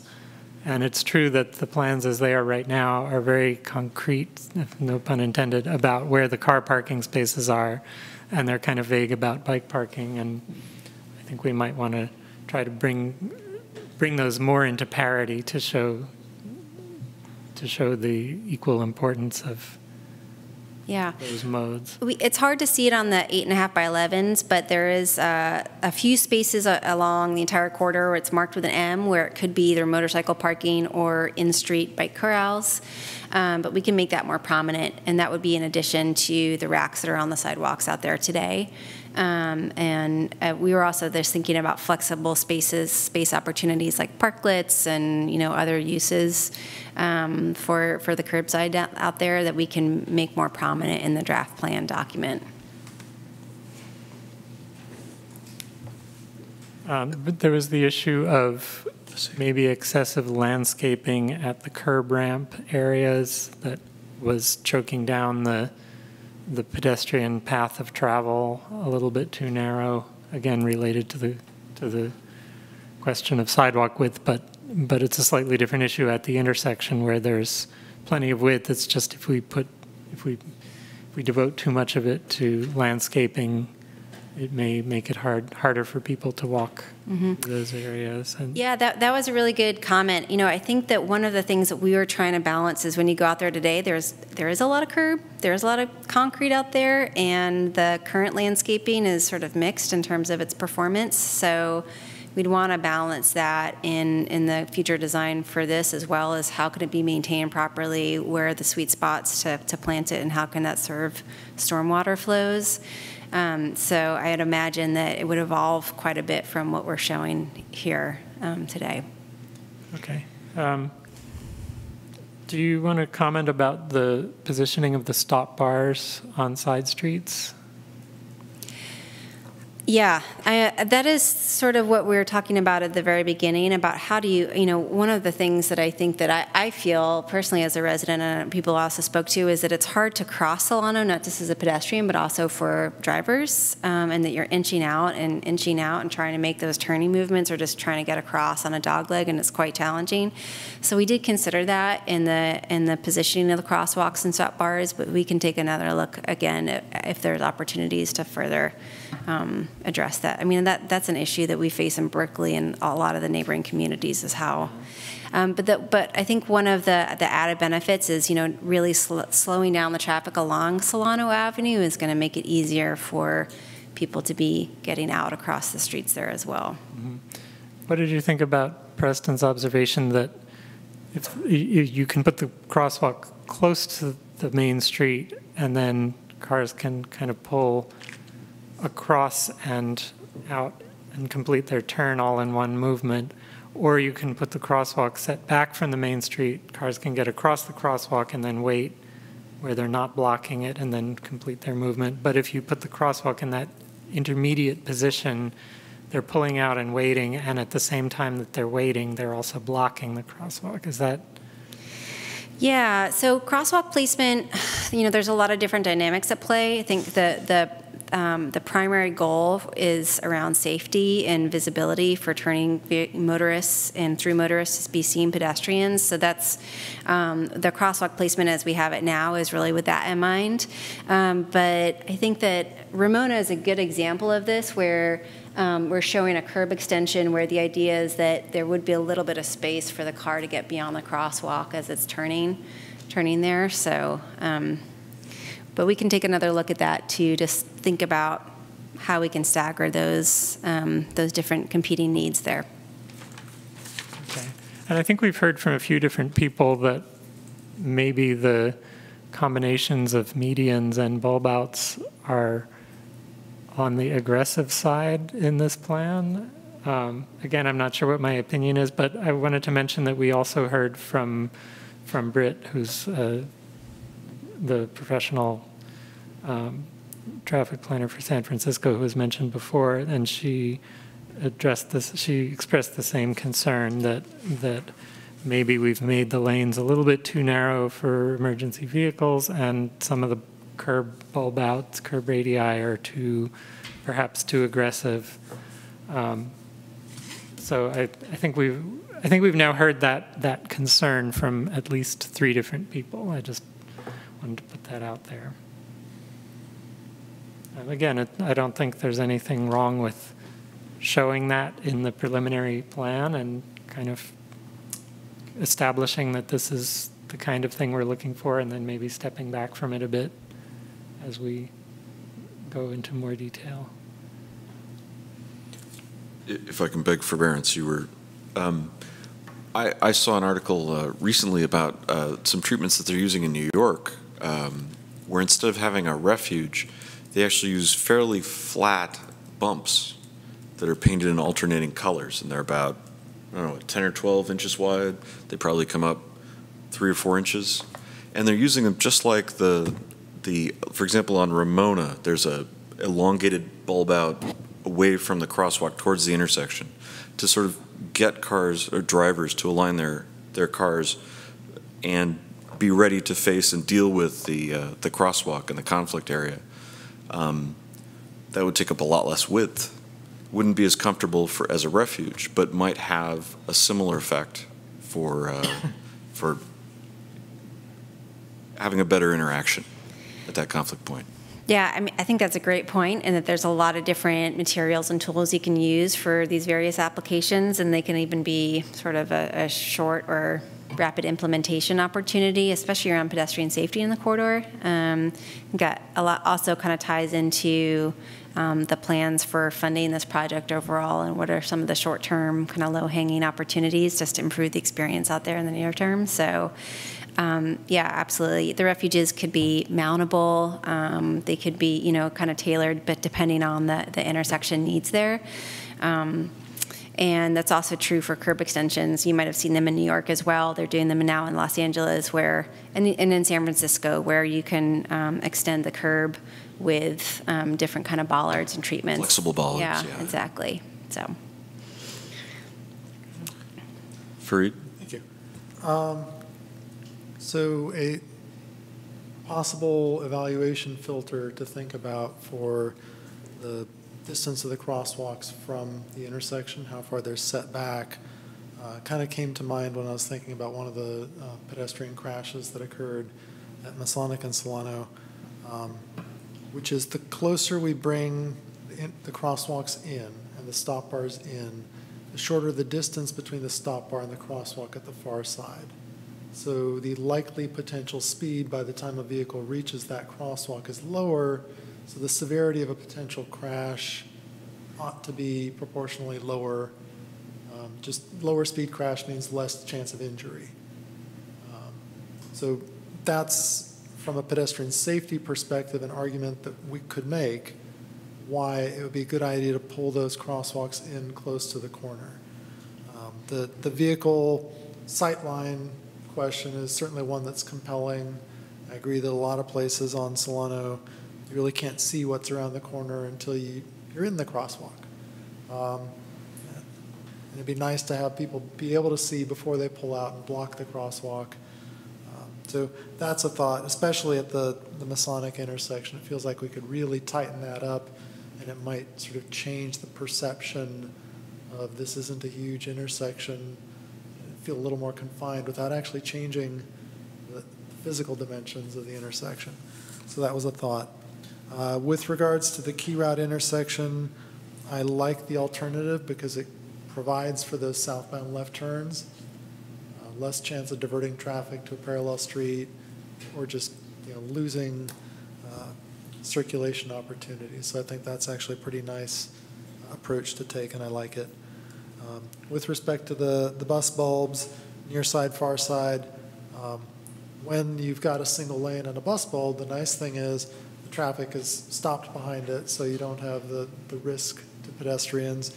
Also, with the near side bus bulb, you avoid gridlocking the intersection with the cars stacking up behind the bus, because now the intersection is clear in front of the bus. So I think that could work really well for us here. Um, In terms of street decoration, pavers or brick crosswalks will be kind of cool, and some of us who remember them would find them a little bit nostalgic, uh, but also easier to maintain than paint. So hopefully that's uh, Last longer than the nostalgic ones? the ones that were torn out because it was concerned that they might be an ADA problem. Among other things. I, I, I remember a lot of sort of brick uh, Well- crosswalks that didn't last. No, no, we, we need, we need better quality. You could use stamped concrete, so then there's not individual bricks to fall out. Um, You could do the crosswalk, you do the whole intersection. Depends what you're trying to achieve.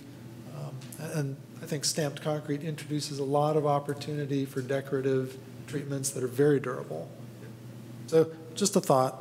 Um, Back-in parking um, avoids one of the risks of nose-in parking mixed with crosswalks, which is backing out across a crosswalk and not seeing a pedestrian, which up at Solano and Fresno, there's at least one fatality that happened years ago there from a car backing out and knocking a pedestrian into the other lane of traffic. So it- it's not totally hypothetical. It's something to consider. If we keep the front-end parking, uh, we might want to look at the places where the, the back-out maneuver does cross the crosswalk and maybe make those the ADA spaces so the loading area moves the parking space further. Or motorcycle or bicycle. Yeah, exactly. Those, And, and that, actually, we did do that.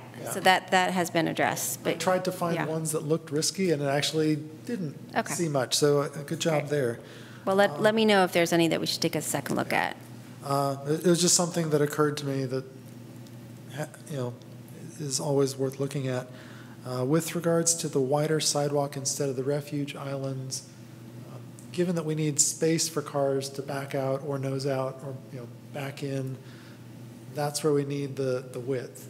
So the, the ability to have the median or the pedestrian refuge um, is just using the, the extra space and the maneuvering lane width.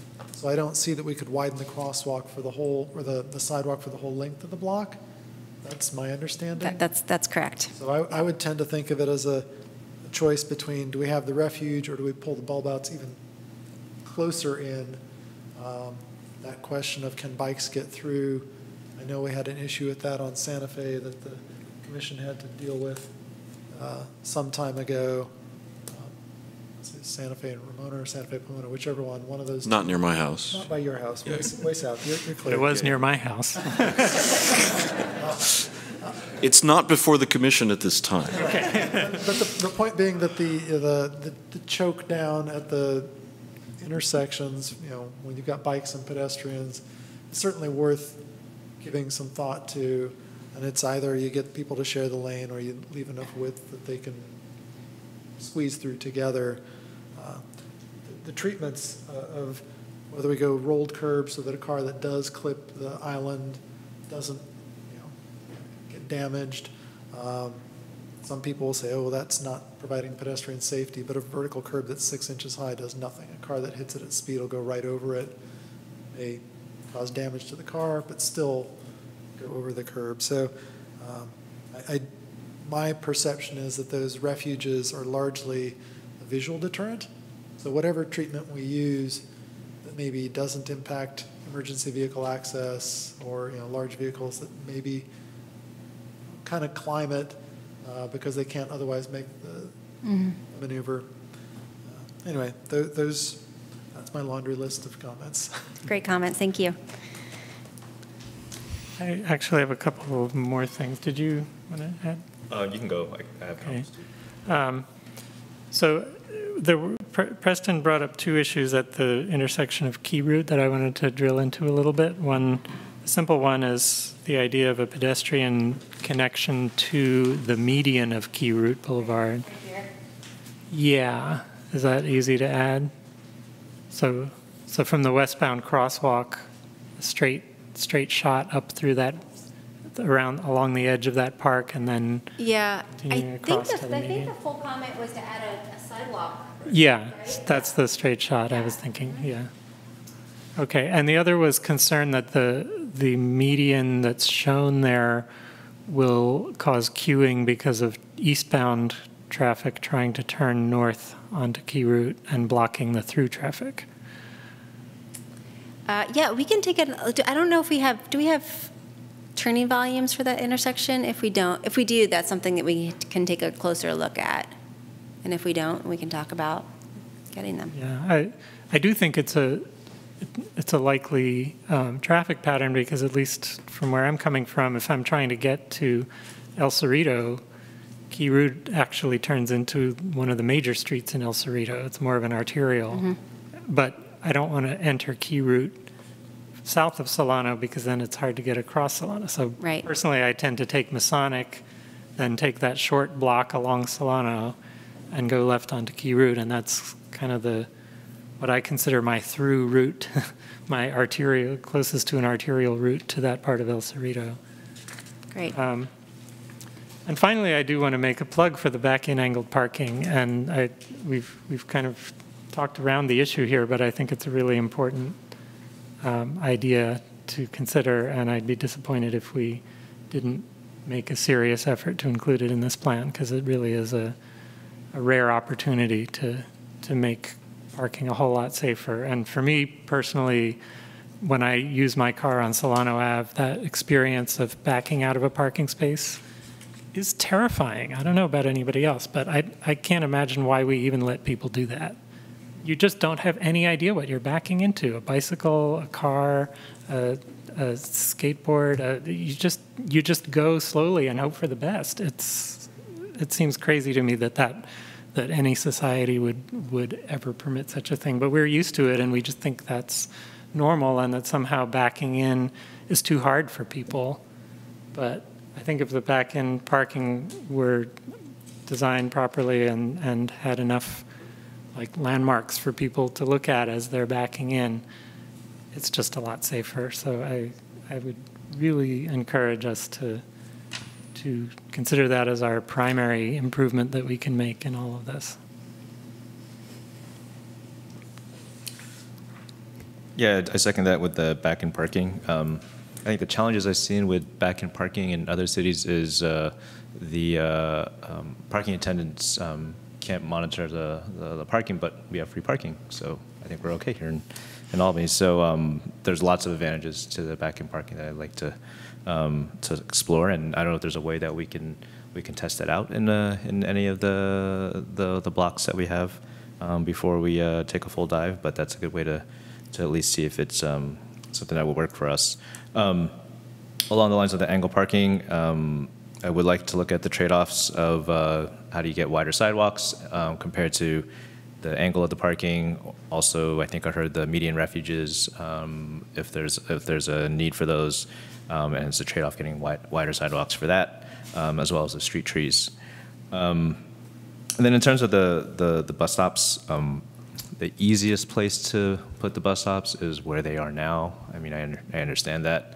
Um, but there is an opportunity to optimize the bus stop locations. Um, you know, one of the things that AC Trans is looking at is, is how can it how can it speed up its buses to maintain its reliability and schedules? And one of those ways is, is thinning out bus stops um, and having people uh, walk further distances. So maybe there's an opportunity here of thinning out bus stops, um, possibly opening up the those spaces for, for other uses, uh, whether it be parking or, or larger bulbs or whatever it may be, um, um, which would also uh, uh, speed up the, the transit service. Um, but you have to go through a, a, a, fairly difficult or sensitive exercise of moving bus stops um, adjacent to properties where people may not want the bus stop and may not want the extra activity. Um, but I think it is uh, worth looking at, at least on paper, and seeing what um, what can be done about optimizing the bus stop locations. And I think I agree with Fareed that near side bus bulbs um, on Solano, we have examples of it already, and it works.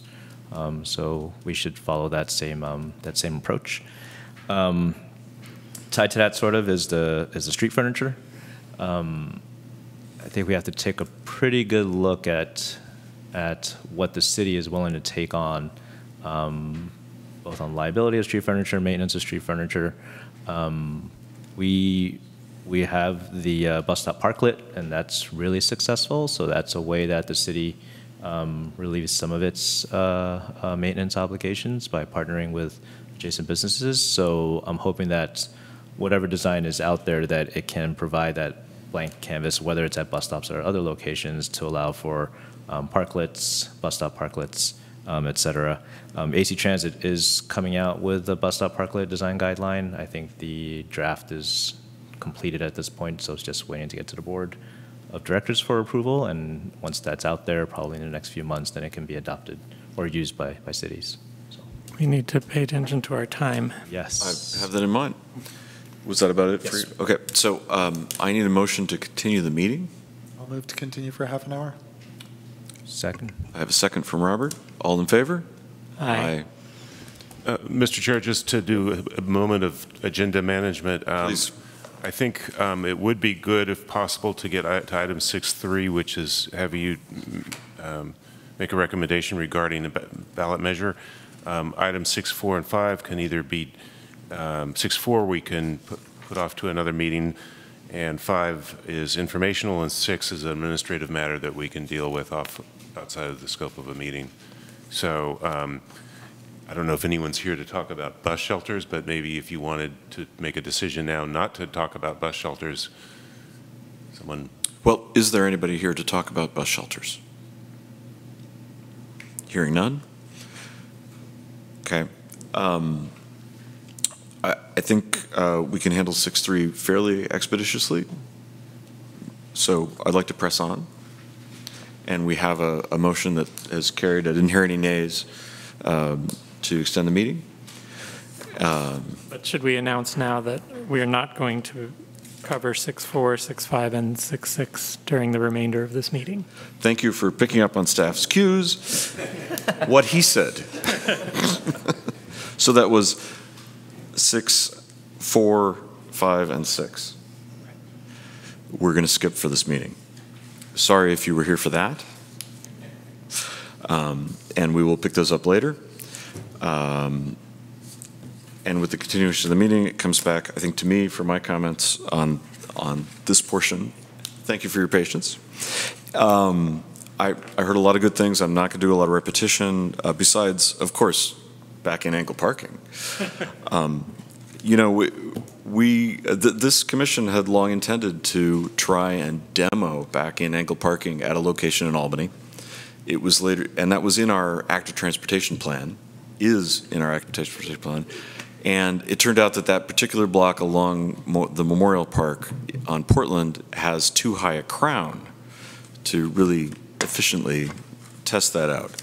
It would be uncomfortable and, and uh, would add to difficulties. So, um, in the time that I've been on this commission, we've been looking for another place to demo uh, back in angle parking, and th- there would be no more prominent place than Solano Avenue. Um, and I am in favor of giving it a fair trial. I have used back in angle parking uh, in places like uh, Salt Lake City. Um, back in angle parking is, uh, for my cycle training, when you control the lane, you have a lot more uh, opportunity to do things. Like when you're driving down the road, you put on your turn signal, you control when you stop, and then back in to the back in angle parking. Um, you don't have the same opportunity when you're trying to back out blind. Um, I've, I've heard various objections to back in angle parking, including um, it's hard to see where you're backing up, which to me is actually an argument for back in angle parking in a way. Um, certainly, many cars today have backup cameras. Um, I happen to think that most of those are really good for seeing directly behind your car and not so great for seeing out to the edges. You also can't control the length of the car next to you. But if you're back in angle parking, your car is now pointed straight back. You can see where the curb is. So, I, and there's a new law, and I forget which year, but all new cars are going to have backup cameras.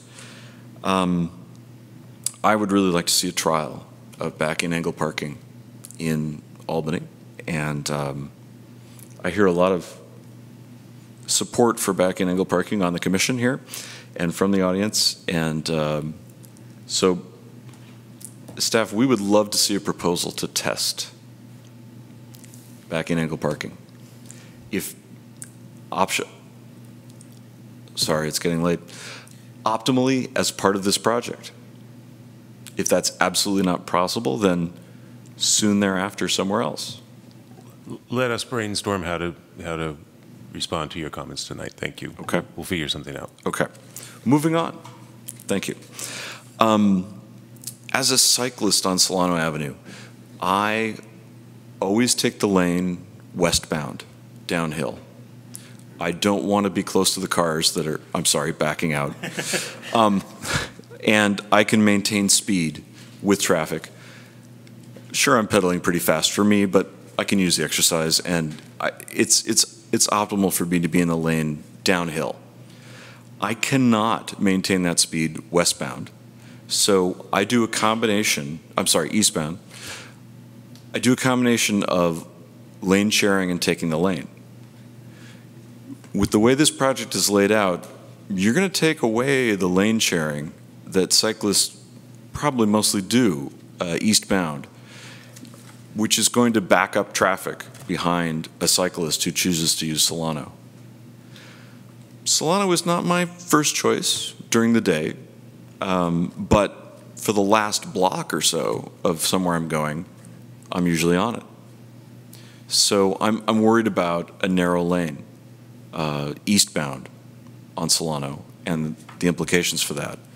I would also be interested in uh, Sharrows westbound on Solano to reinforce that cyclists have the right to take the lane legally. I've had some interesting discussions with motorists, both brief and extended. You can imagine. So please take, that into consideration. I, I would, uh, if, if we put in medians, we're giving up a lot of space that is currently in use. Um, along with that, um, neighborhoods that I'm exposed to on Solano uh, have a lot of uh, nighttime activity. Very little nighttime enforcement. The, the meter maids, the, the, the parking attendants have gone home. Um, They're not timing how long people are parked. Um, People tend to park in the red zones. Uh, They tend to double park on the street to unload or to pick up and drop off. We're increasing, as a society, the number of pickups and drop-offs because of ride-hailing and, and other things. Um, I would love for the plan to anticipate that. I don't see that in, in the current plan. It, it's not, that would be a, like a programmatic recommendation that will be included in the plan about how curbside activity would be managed with the things you said in mind. So that has definitely been on the minds of staff, and um, we've been continuing to evolve that conversation based on current and future activity that we expect out in the corridor.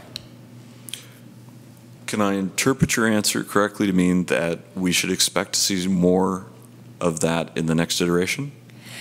Yeah, it it may not be shown on the conceptual plan. It would be more like a narrative section of the actual plan report.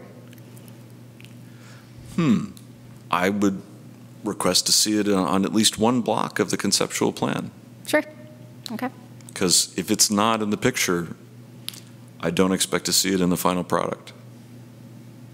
Maybe that's being cynical, but that's generally where I've seen things go.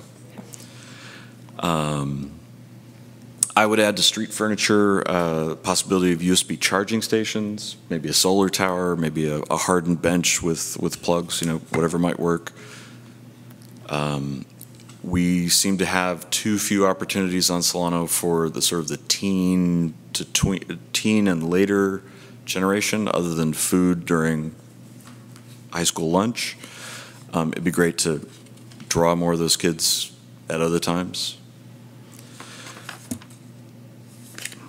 And I think those are the end of my general comments. Um, At this point, I would like to uh, have the commission address the uh, sheet number three with your questions and uh, then public comment and comments. I'm going to step out of the room. Why don't you let me know when I should? Yep. Do we have any public comments for sheet number three, which is uh, the intersections of San Carlos, Santa Fe, and Curtis?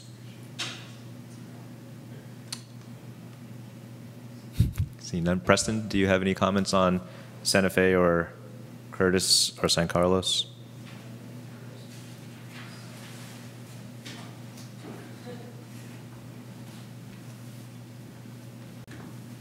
Yeah, I thought that was a great point, the lack of a pedestrian signal indication on Santa Fe.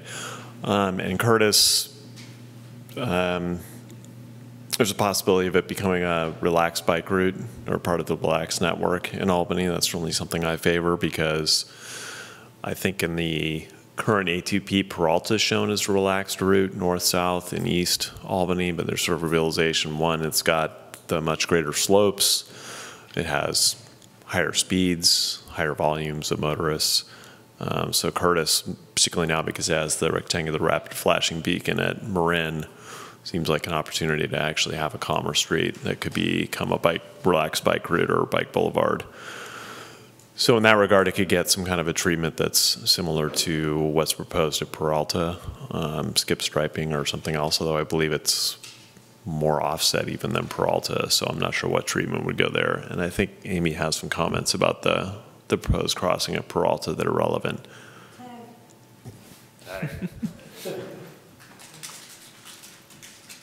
Also, at the meeting last week, Beth Thomas mentioned that Curtis was going to be a a bicycle boulevard in Berkeley. So if we had treatments, then that would match up with theirs, which would be nice. So, um, yeah, the Peralta skip strike striping kind of looks like it slams you into the, If you want, you could wait till Ken comes back to talk about oh, Peralta. oh, okay. All right, Um, then I'll wait. Okay. Yes, the next sheet.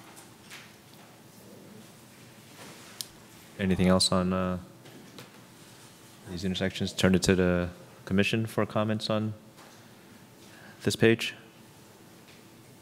Nothing additional. Well, I'd like to hear from you about, um, You know what, sorry. okay. Sorry about that. Um, The California Bank and Trust, that kind of parklet type treatment is really nice, and you guys probably know that Albany Strollers and Rollers has um, funded a bunch of bike racks and pumps, and there's actually one of each of those there, and we would move those, you know, those could be incorporated into the new design, and if you wanted more, or any other parklet or, or public space type um, you know, type treatment that you're doing along, along this, along Solano, you know, just talk to us and we'd like to be involved in helping, you know, provide some of those amenities like a pump or a rack, right? Um, Regarding Santa Fe, has anyone considered changing it to a four-way stop?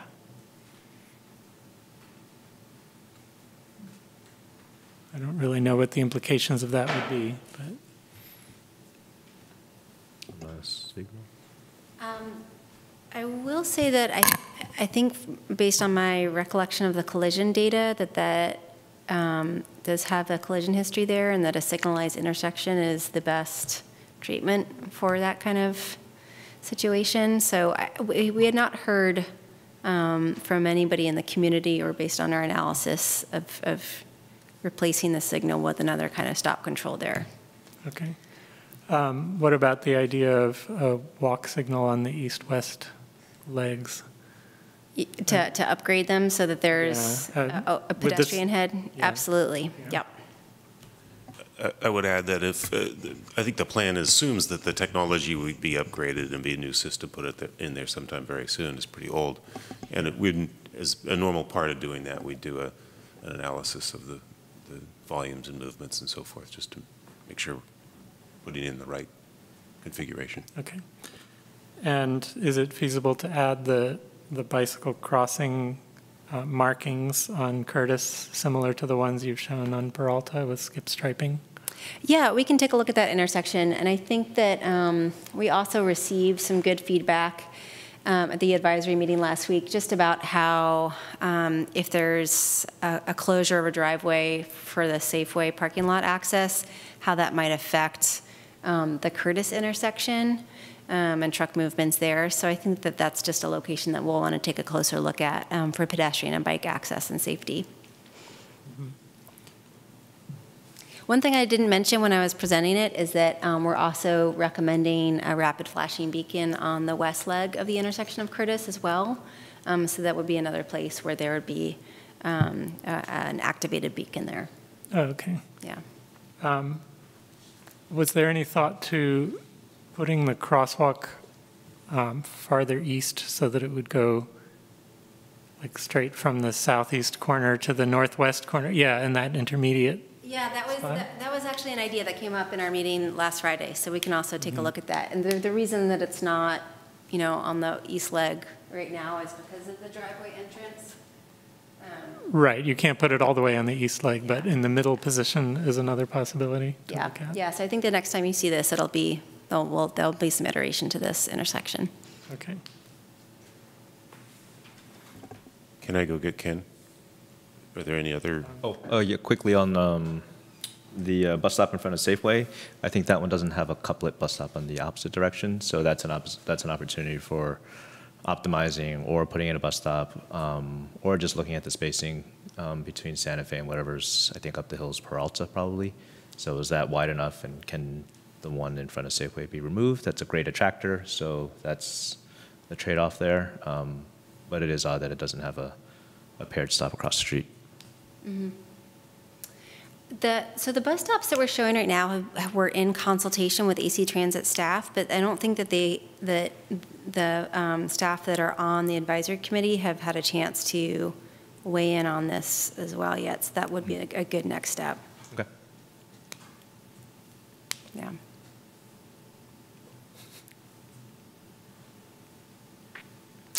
All right, yeah, bring him in.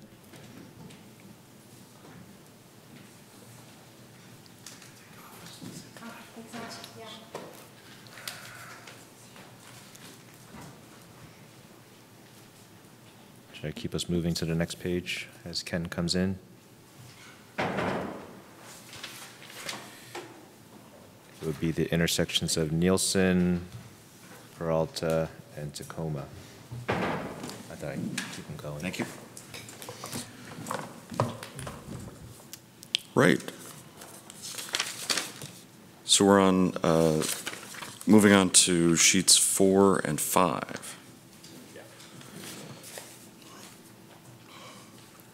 I have a question. Please. um, For Peralta. The, the note says that there's a curb cut to facilitate bicycle through movement.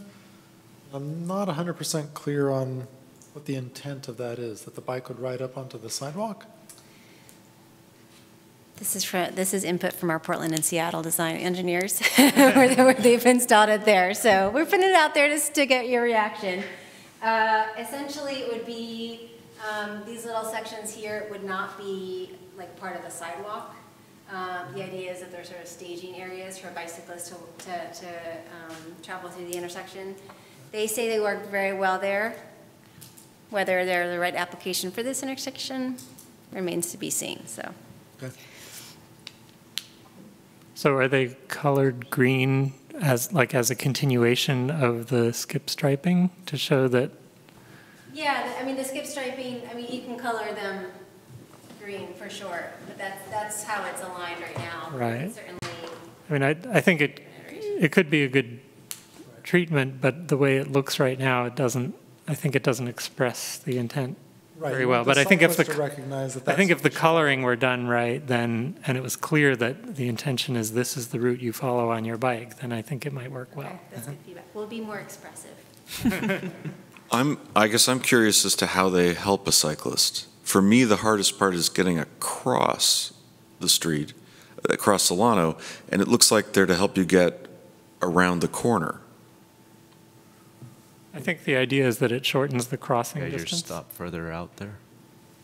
So it lets you do your crossing at more of a perpendicular, so you're not in the roadway for as long when you're crossing. So you can make a more direct movement. That's right. I mean, I think, I think that it's considered a, a lower stress movement. So if you were like a child on a bike, for example, you could just get, kind of snap across and then, and then turn with the- Okay. the edge of the sidewalk there. Thank you. Yeah. Um, And I Obviously, I need to vacation with my bike in Portland or Seattle.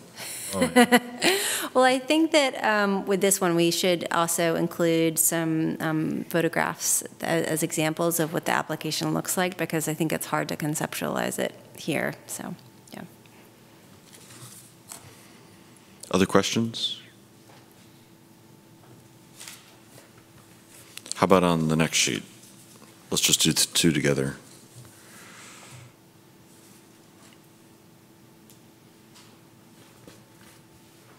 There's a lot of parking at this end. Yeah. It's also a low parking demand area. It's just how it seems to have worked out. Well, this is the area where there's actually new parking that's proposed because the bus stop is, is going to go away. Right, I'm, I'm just saying, we know from a recent parking survey that it's a, it's a low, lower demand area. Questions? Oh, it's just interesting because anytime I've tried to park there, it's been hard to find parking. All right, okay, all right. It's Well- my anecdote, which is not all times, so. Yeah. I guess the other thing to think about too is that hopefully this is a design that lasts for many decades and, you know, how the, how the activity evolves over the corridor over that time remains to be seen, so. Is it also true that, that east of that line, it switches to metered parking? That's correct. So a lot of the people parking there may be people who just didn't want to pay the meter. Like even if, if there aren't as many businesses right there, but the people who are using the upper Solano businesses may choose to park in the free Albany parking spaces. That's a good point. I wonder if the Albany and Berkeley uh, parking control officers ever sort of meet and joust as they turn their U-turns in the middle of the street. I'm sorry, it's getting late. Um, Are are there any public comments on this section?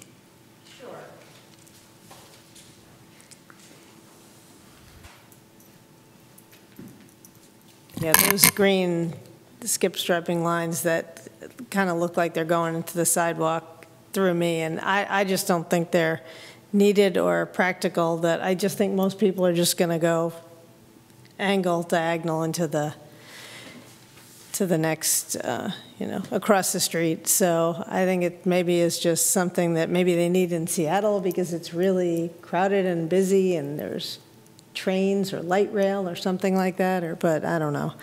I just think here it may not be used, but it'd be nice to see one live. Um, Well, just a general comment that I was going to make, but Commissioner Chomsky made it already, that there was no specific um, bike rack locations at all, and I guess there are the little Ms thrown in there somewhere, but I think, you know, as a complete streets, we do need to, need to mark bike spaces, bike parking spaces as carefully as we mark car parking spaces, um, because everyone's always talking about parking spaces, but parking spaces are parking spaces. So, um, you know, if we're making Solano more bike-friendly to ride on, to ride for people, um, we want to make it so they can actually have a place to park when they get to that destination. And so if they they're riding and they notice the destination, they can just turn off, they smell some good food, they can turn off and have a place to park and eat at that little cafe or something. So it's just important to do that um, as well. And I appreciate the fact that you guys, since you're not only the Traffic and Safety Commission, you're the Active Transportation Advisory Committee or Commission for our city, that you're really looking out for all those users. So thank you. Um, I also just want to know, in the next iteration, by the time you get to uh, planning and zoning, if there'll be any changes, or if the planning and zoning will be the same as this paperwork? We anticipate taking the same presentation this evening to Planning and Zoning. Um, They have actually not seen this in the same way that the Traffic and Safety Commission has, so they'll be looking at it with a fresh set of eyes.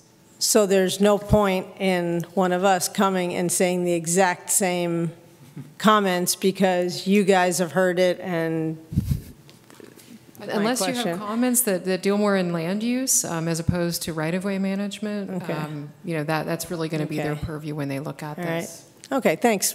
But if you want to join us, you're welcome to. Oh, God. Show up and talk about back-in angle parking. Um,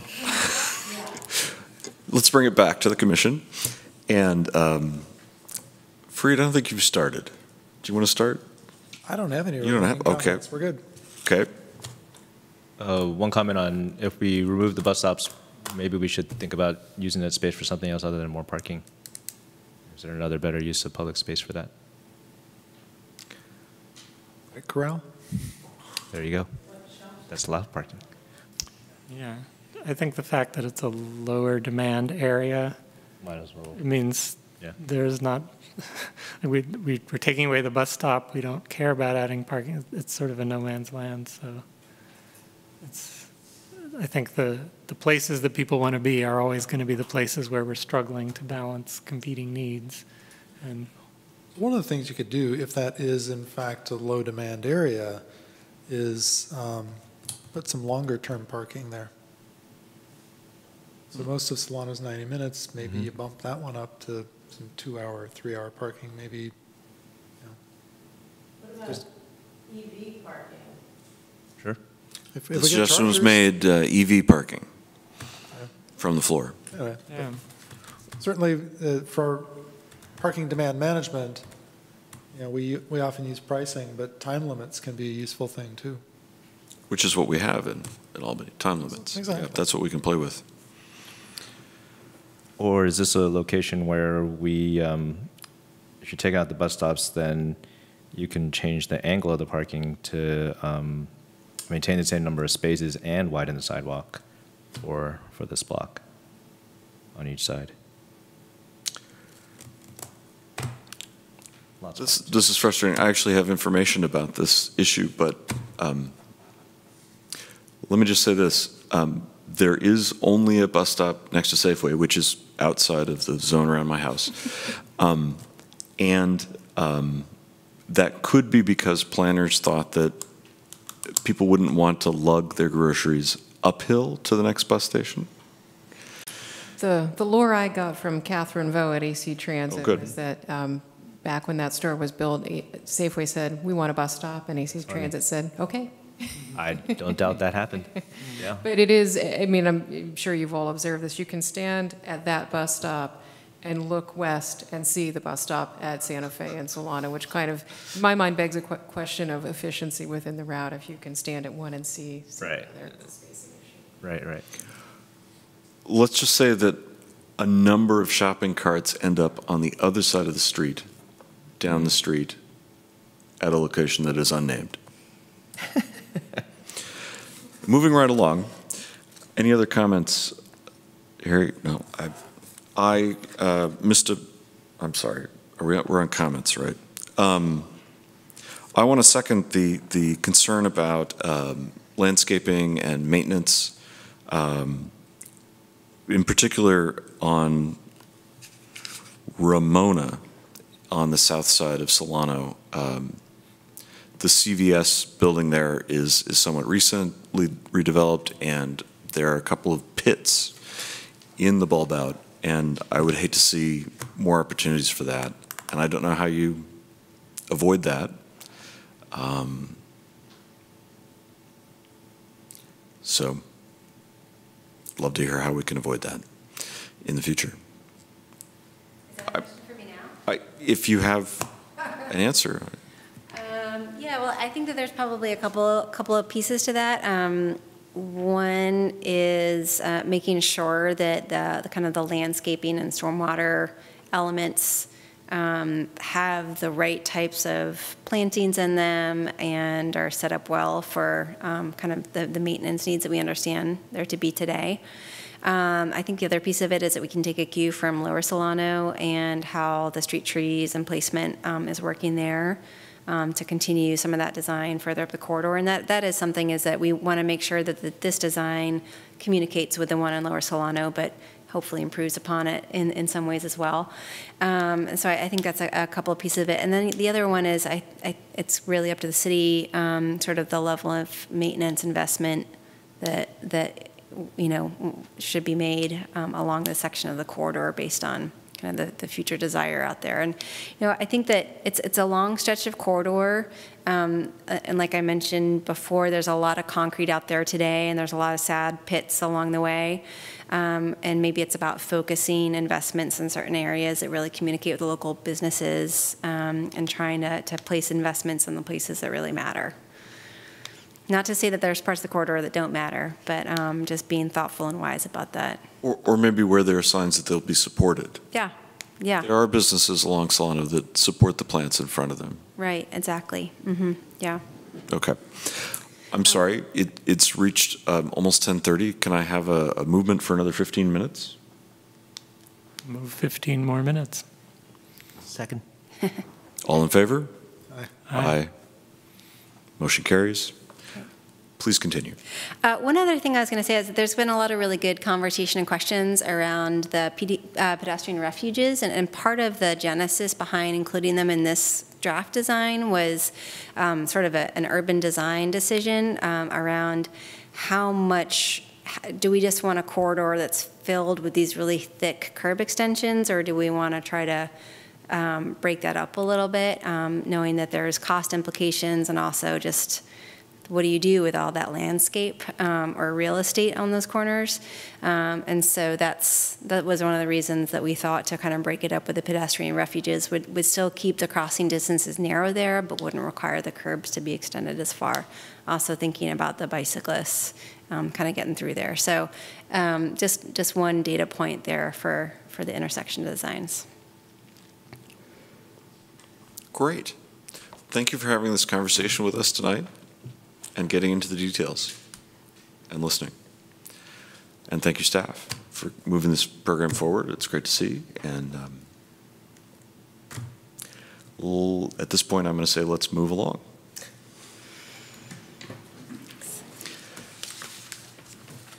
So we're going to uh, move on to 6.3 as our last uh, discussion and action item for the evening.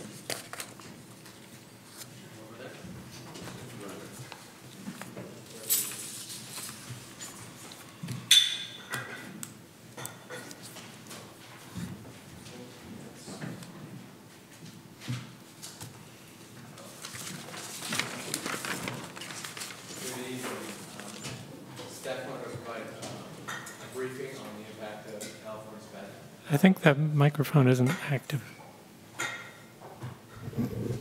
Thank you. Uh, Good evening. Um, Staff wanted to give you an, uh, a briefing on the impact of the Proposition 6, which is on the November ballot, and how it would impact the city of Albany. Robert, is, is 15 minutes a reasonable time for this? We'll think? get through it in 15 minutes. Okay. Um, So as you may already know, the, the Road Repair and Accountability Act of 2017 is popularly known as SB 20, uh, SB 1, and Prop 6 would uh, propose to repeal part of that. So the purpose of the, of the measure two years ago was to enable cities and counties to address significant ma- maintenance issues, rehabilitation, safety issues. Um, For cities in particular, it was for local streets and road systems. Um, It also funded highway bridges. It also funded pedestrian safety programs, uh, regional transit systems. AC Transit is a big uh, benefactor, as well as BART. So I'll go through some of those numbers. Uh, Prop 6 would prohibit the legislation uh, going forward from imposing any tax on the sale of gasoline or diesel fuel. So this doesn't just affect SB 1, but it also give, hinders uh, legislative action uh, uh, going forward. Um, and it's an, it has an effective date as of January 1, 2017, specifically to um, uh, remove that, remove SB 1 from the books. So it would, it would take away SB 1 funding and it would affect legislative process going forward, specifically on the gasoline tax. Can I just ask a quick question? We wouldn't have to give money back, right? That is the first question on any of the workshops you go to on this question. So um, uh, gasoline uh, revenues have been taken in by the treasurer's office. They've been distributed to cities. That money um, is in the books and it's not being retroactively asked for back. So no takebacks. Um, You're welcome. Um, So in terms of uh, regional and local projects, Alameda County cities have received already over $60 million. Um, Alameda County itself, uh, for unincorporated areas, 42 million. Uh, $250 million for congestion corridors and relief management. I believe that's primarily Caltrans. $100 million for active transportation programs um, outside of all the other local streets, local streets and roads uh, programs, and 750 million for mass transit. I mentioned BART and AC Transit. Um, other local bus systems are also included in that. Um, and Albany specifically in 2017 received $106,000. Um, in 2018 and going forward for the life of the project, we're anticipating somewhere around the order of 300 to 315,000 dollars. Um, this year, we spent that on um, Evelyn Avenue. We had one block of Evelyn Avenue that we identified, so that's complete. It's in service. It was um, nearly 17,000 square feet of man, of uh, of pavement. It was in poor shape. There was a lot of dig outs. There was a lot of base repair that had to be done. There was a buried curb, um, which we discovered had it been essentially overlaid, um, which nobody had any plans for. We didn't know what it was there. So essentially, a gutter that uh, was revealed. We had to rip that out. So um, a little buried treasure there. Um, Next project um, that's already in design is Washington Avenue between uh, San Pablo and Key Route. That's 62,000. Amy, you left the room too early. She's watching at home. I hope so. Yeah. Uh, 62,000 square feet, so that's a, that's a big chunky project that's already in design. We're hoping to get that out the door um, fairly quickly and into the construction phase. Um, looking at the city's CIP, really, I'm here because I can just pull up the draw, the numbers for the CIP the easiest. Um, so SB1 in that the the last the CIP has a little bit of a bump in the first years, um, and then it kind of levels out in terms of uh, street rehab funding. So long-term SB1 is essentially 25% of our um, of our basket of funds that we use for street rehabilitation. Um, gas tax revenue, other than SB1 funding, um, is used for street maintenance on the operating side. Um, but you could see we've got Measure F, Measure B, um, vehicle reg, reg fees on here. So we have uh, a good um, assortment of funds, and SB1 is going to be one of those that we, we rely on. We already do. Um, This is a snapshot of the capital improvement program. Um, I could leave this up for a bit, but essentially, the third line from the bottom is SB 1. Um, We have 106,000, which I mentioned, 300,000. These were estimates that I included in the CIP before we actually got the revenue. Um, So they're a little bit low, but essentially $300,000 a year is what we have programmed out. Um, When we update the CIP, we can bring that up to whatever, 315, whatever the, the the projections are based on tax revenues coming in. Um, The last three years, 2020, 2021, and 2022, we see that the SB1 contribution kind of levels out between 23 and 27 percent. So that's averaging out to about 25 percent. Um, In the early years, we only got 100,000, 100,000, so it was uh, rather low compared to that. Um, There's some unspent funds in Measure F, I believe. We're spending those on the front end. So, uh, for example, uh, Washington Boulevard, and then it levels out from there. Um, So looking at this in terms of pave- pavement condition, we had our consultant, Nichols Engineering, run a couple analyses for us, one with SB1 removed and one with SB1 in place. Um, So over a 10-year period, we see about a four or five-point PCI condition index change. Um, What this means essentially is that taking away SB1, our long-term funding uh, outlook looks like about $900,000 rather than uh, $1.2 million. So $900,000 gets us the, the, the lower line on that graph, which essentially is uh, stability. So we stay in the essentially poor condition that the Albany streets are in today. Um, and we're kind of spending $900,000 to maintain that. Um, with SB1, we have a modest increase. Um, we are in a regular conversation with uh, this commission and with council about looking for additional funding and thinking about how we can um, raise this into a, a, additional funds so that we can we can improve the conditions into the good range rather than into the poor rather than staying in the poor range. Um, so we do rely on SB1 to essentially maintain where we are. Um, this is a miles treated number. Um, this is an NCE analysis. I'm going to skip this because I'm, I think there might be some data integrity issues here. Um, and we'll jump right to the recommendation. And this is from, this is also on your agenda, um, that the commission recommend to council um, to take a position in opposition to Prop 6. Do I hear a motion? I would move that the commission recommend that council take a position opposite, opposing Prop 6. I'll second. Any discussion? Yes. I just want to say that the, any argument that, you know, repealing SB 1 because people are paying too much gas tax i- is really kind of ridiculous. Gas tax has primarily been flat since early 1990s. Um, Driving in general is one of the most subsidized daily activities any of us has.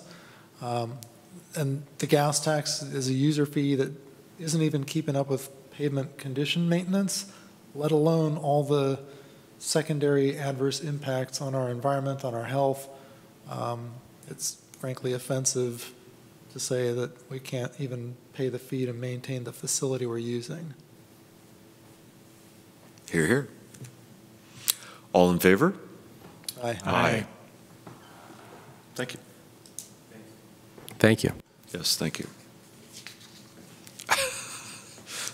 We're getting there, Jeff. Okay.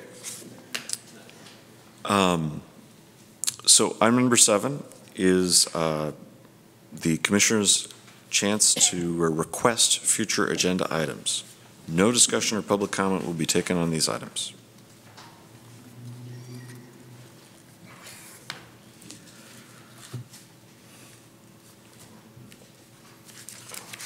So upcoming items that we have in the queue in the coming months include the school district coming back with the curb management portion of the plan that they said that they would come back on. Um, a Central Avenue discussion for project that we discussed a little bit earlier, still working on when they're ready to present that concept here. Um, The bus stop parklet proposal on Solano, and uh, a broader discussion on city pavement conditions.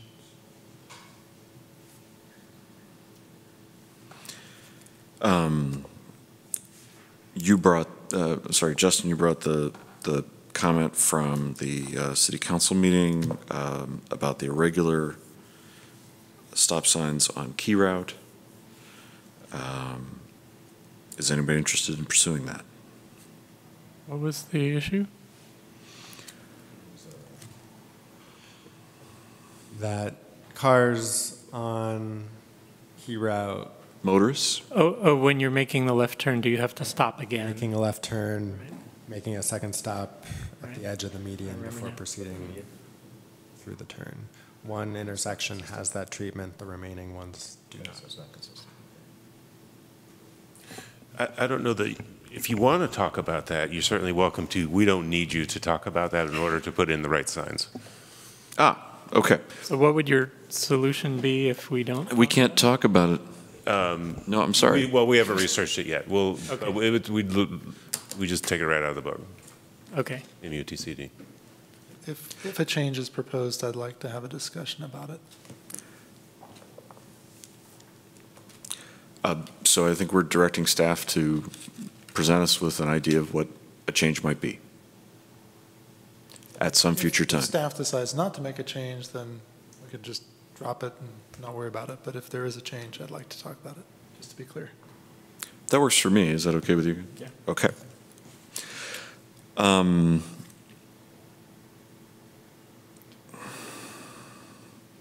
While you're thinking We we got some things about the Hawk. The um, Hawk, yeah. Yeah, that's, that's what I was looking at my notes about. Um, I, I would like to explore either, either have staff pursue improvements in the, the signage and, and the Hawk, or, or bring that up here at uh, Traffic and Safety, one or the other. Or both. So, let's talk about that offline. With that, um, I note that our next meeting is on October 25th. Do we, do we have to continue uh, six four and six five for future meetings? I think I already did. You did already? Yeah, I think we're good on that. It's not a voting thing. Um, And uh, we will be setting the November, December meeting offline. Thank you all very much for uh, sticking with us and uh, sticking with it. And uh, it's a pleasure to uh, have a meeting with you all. See you next time.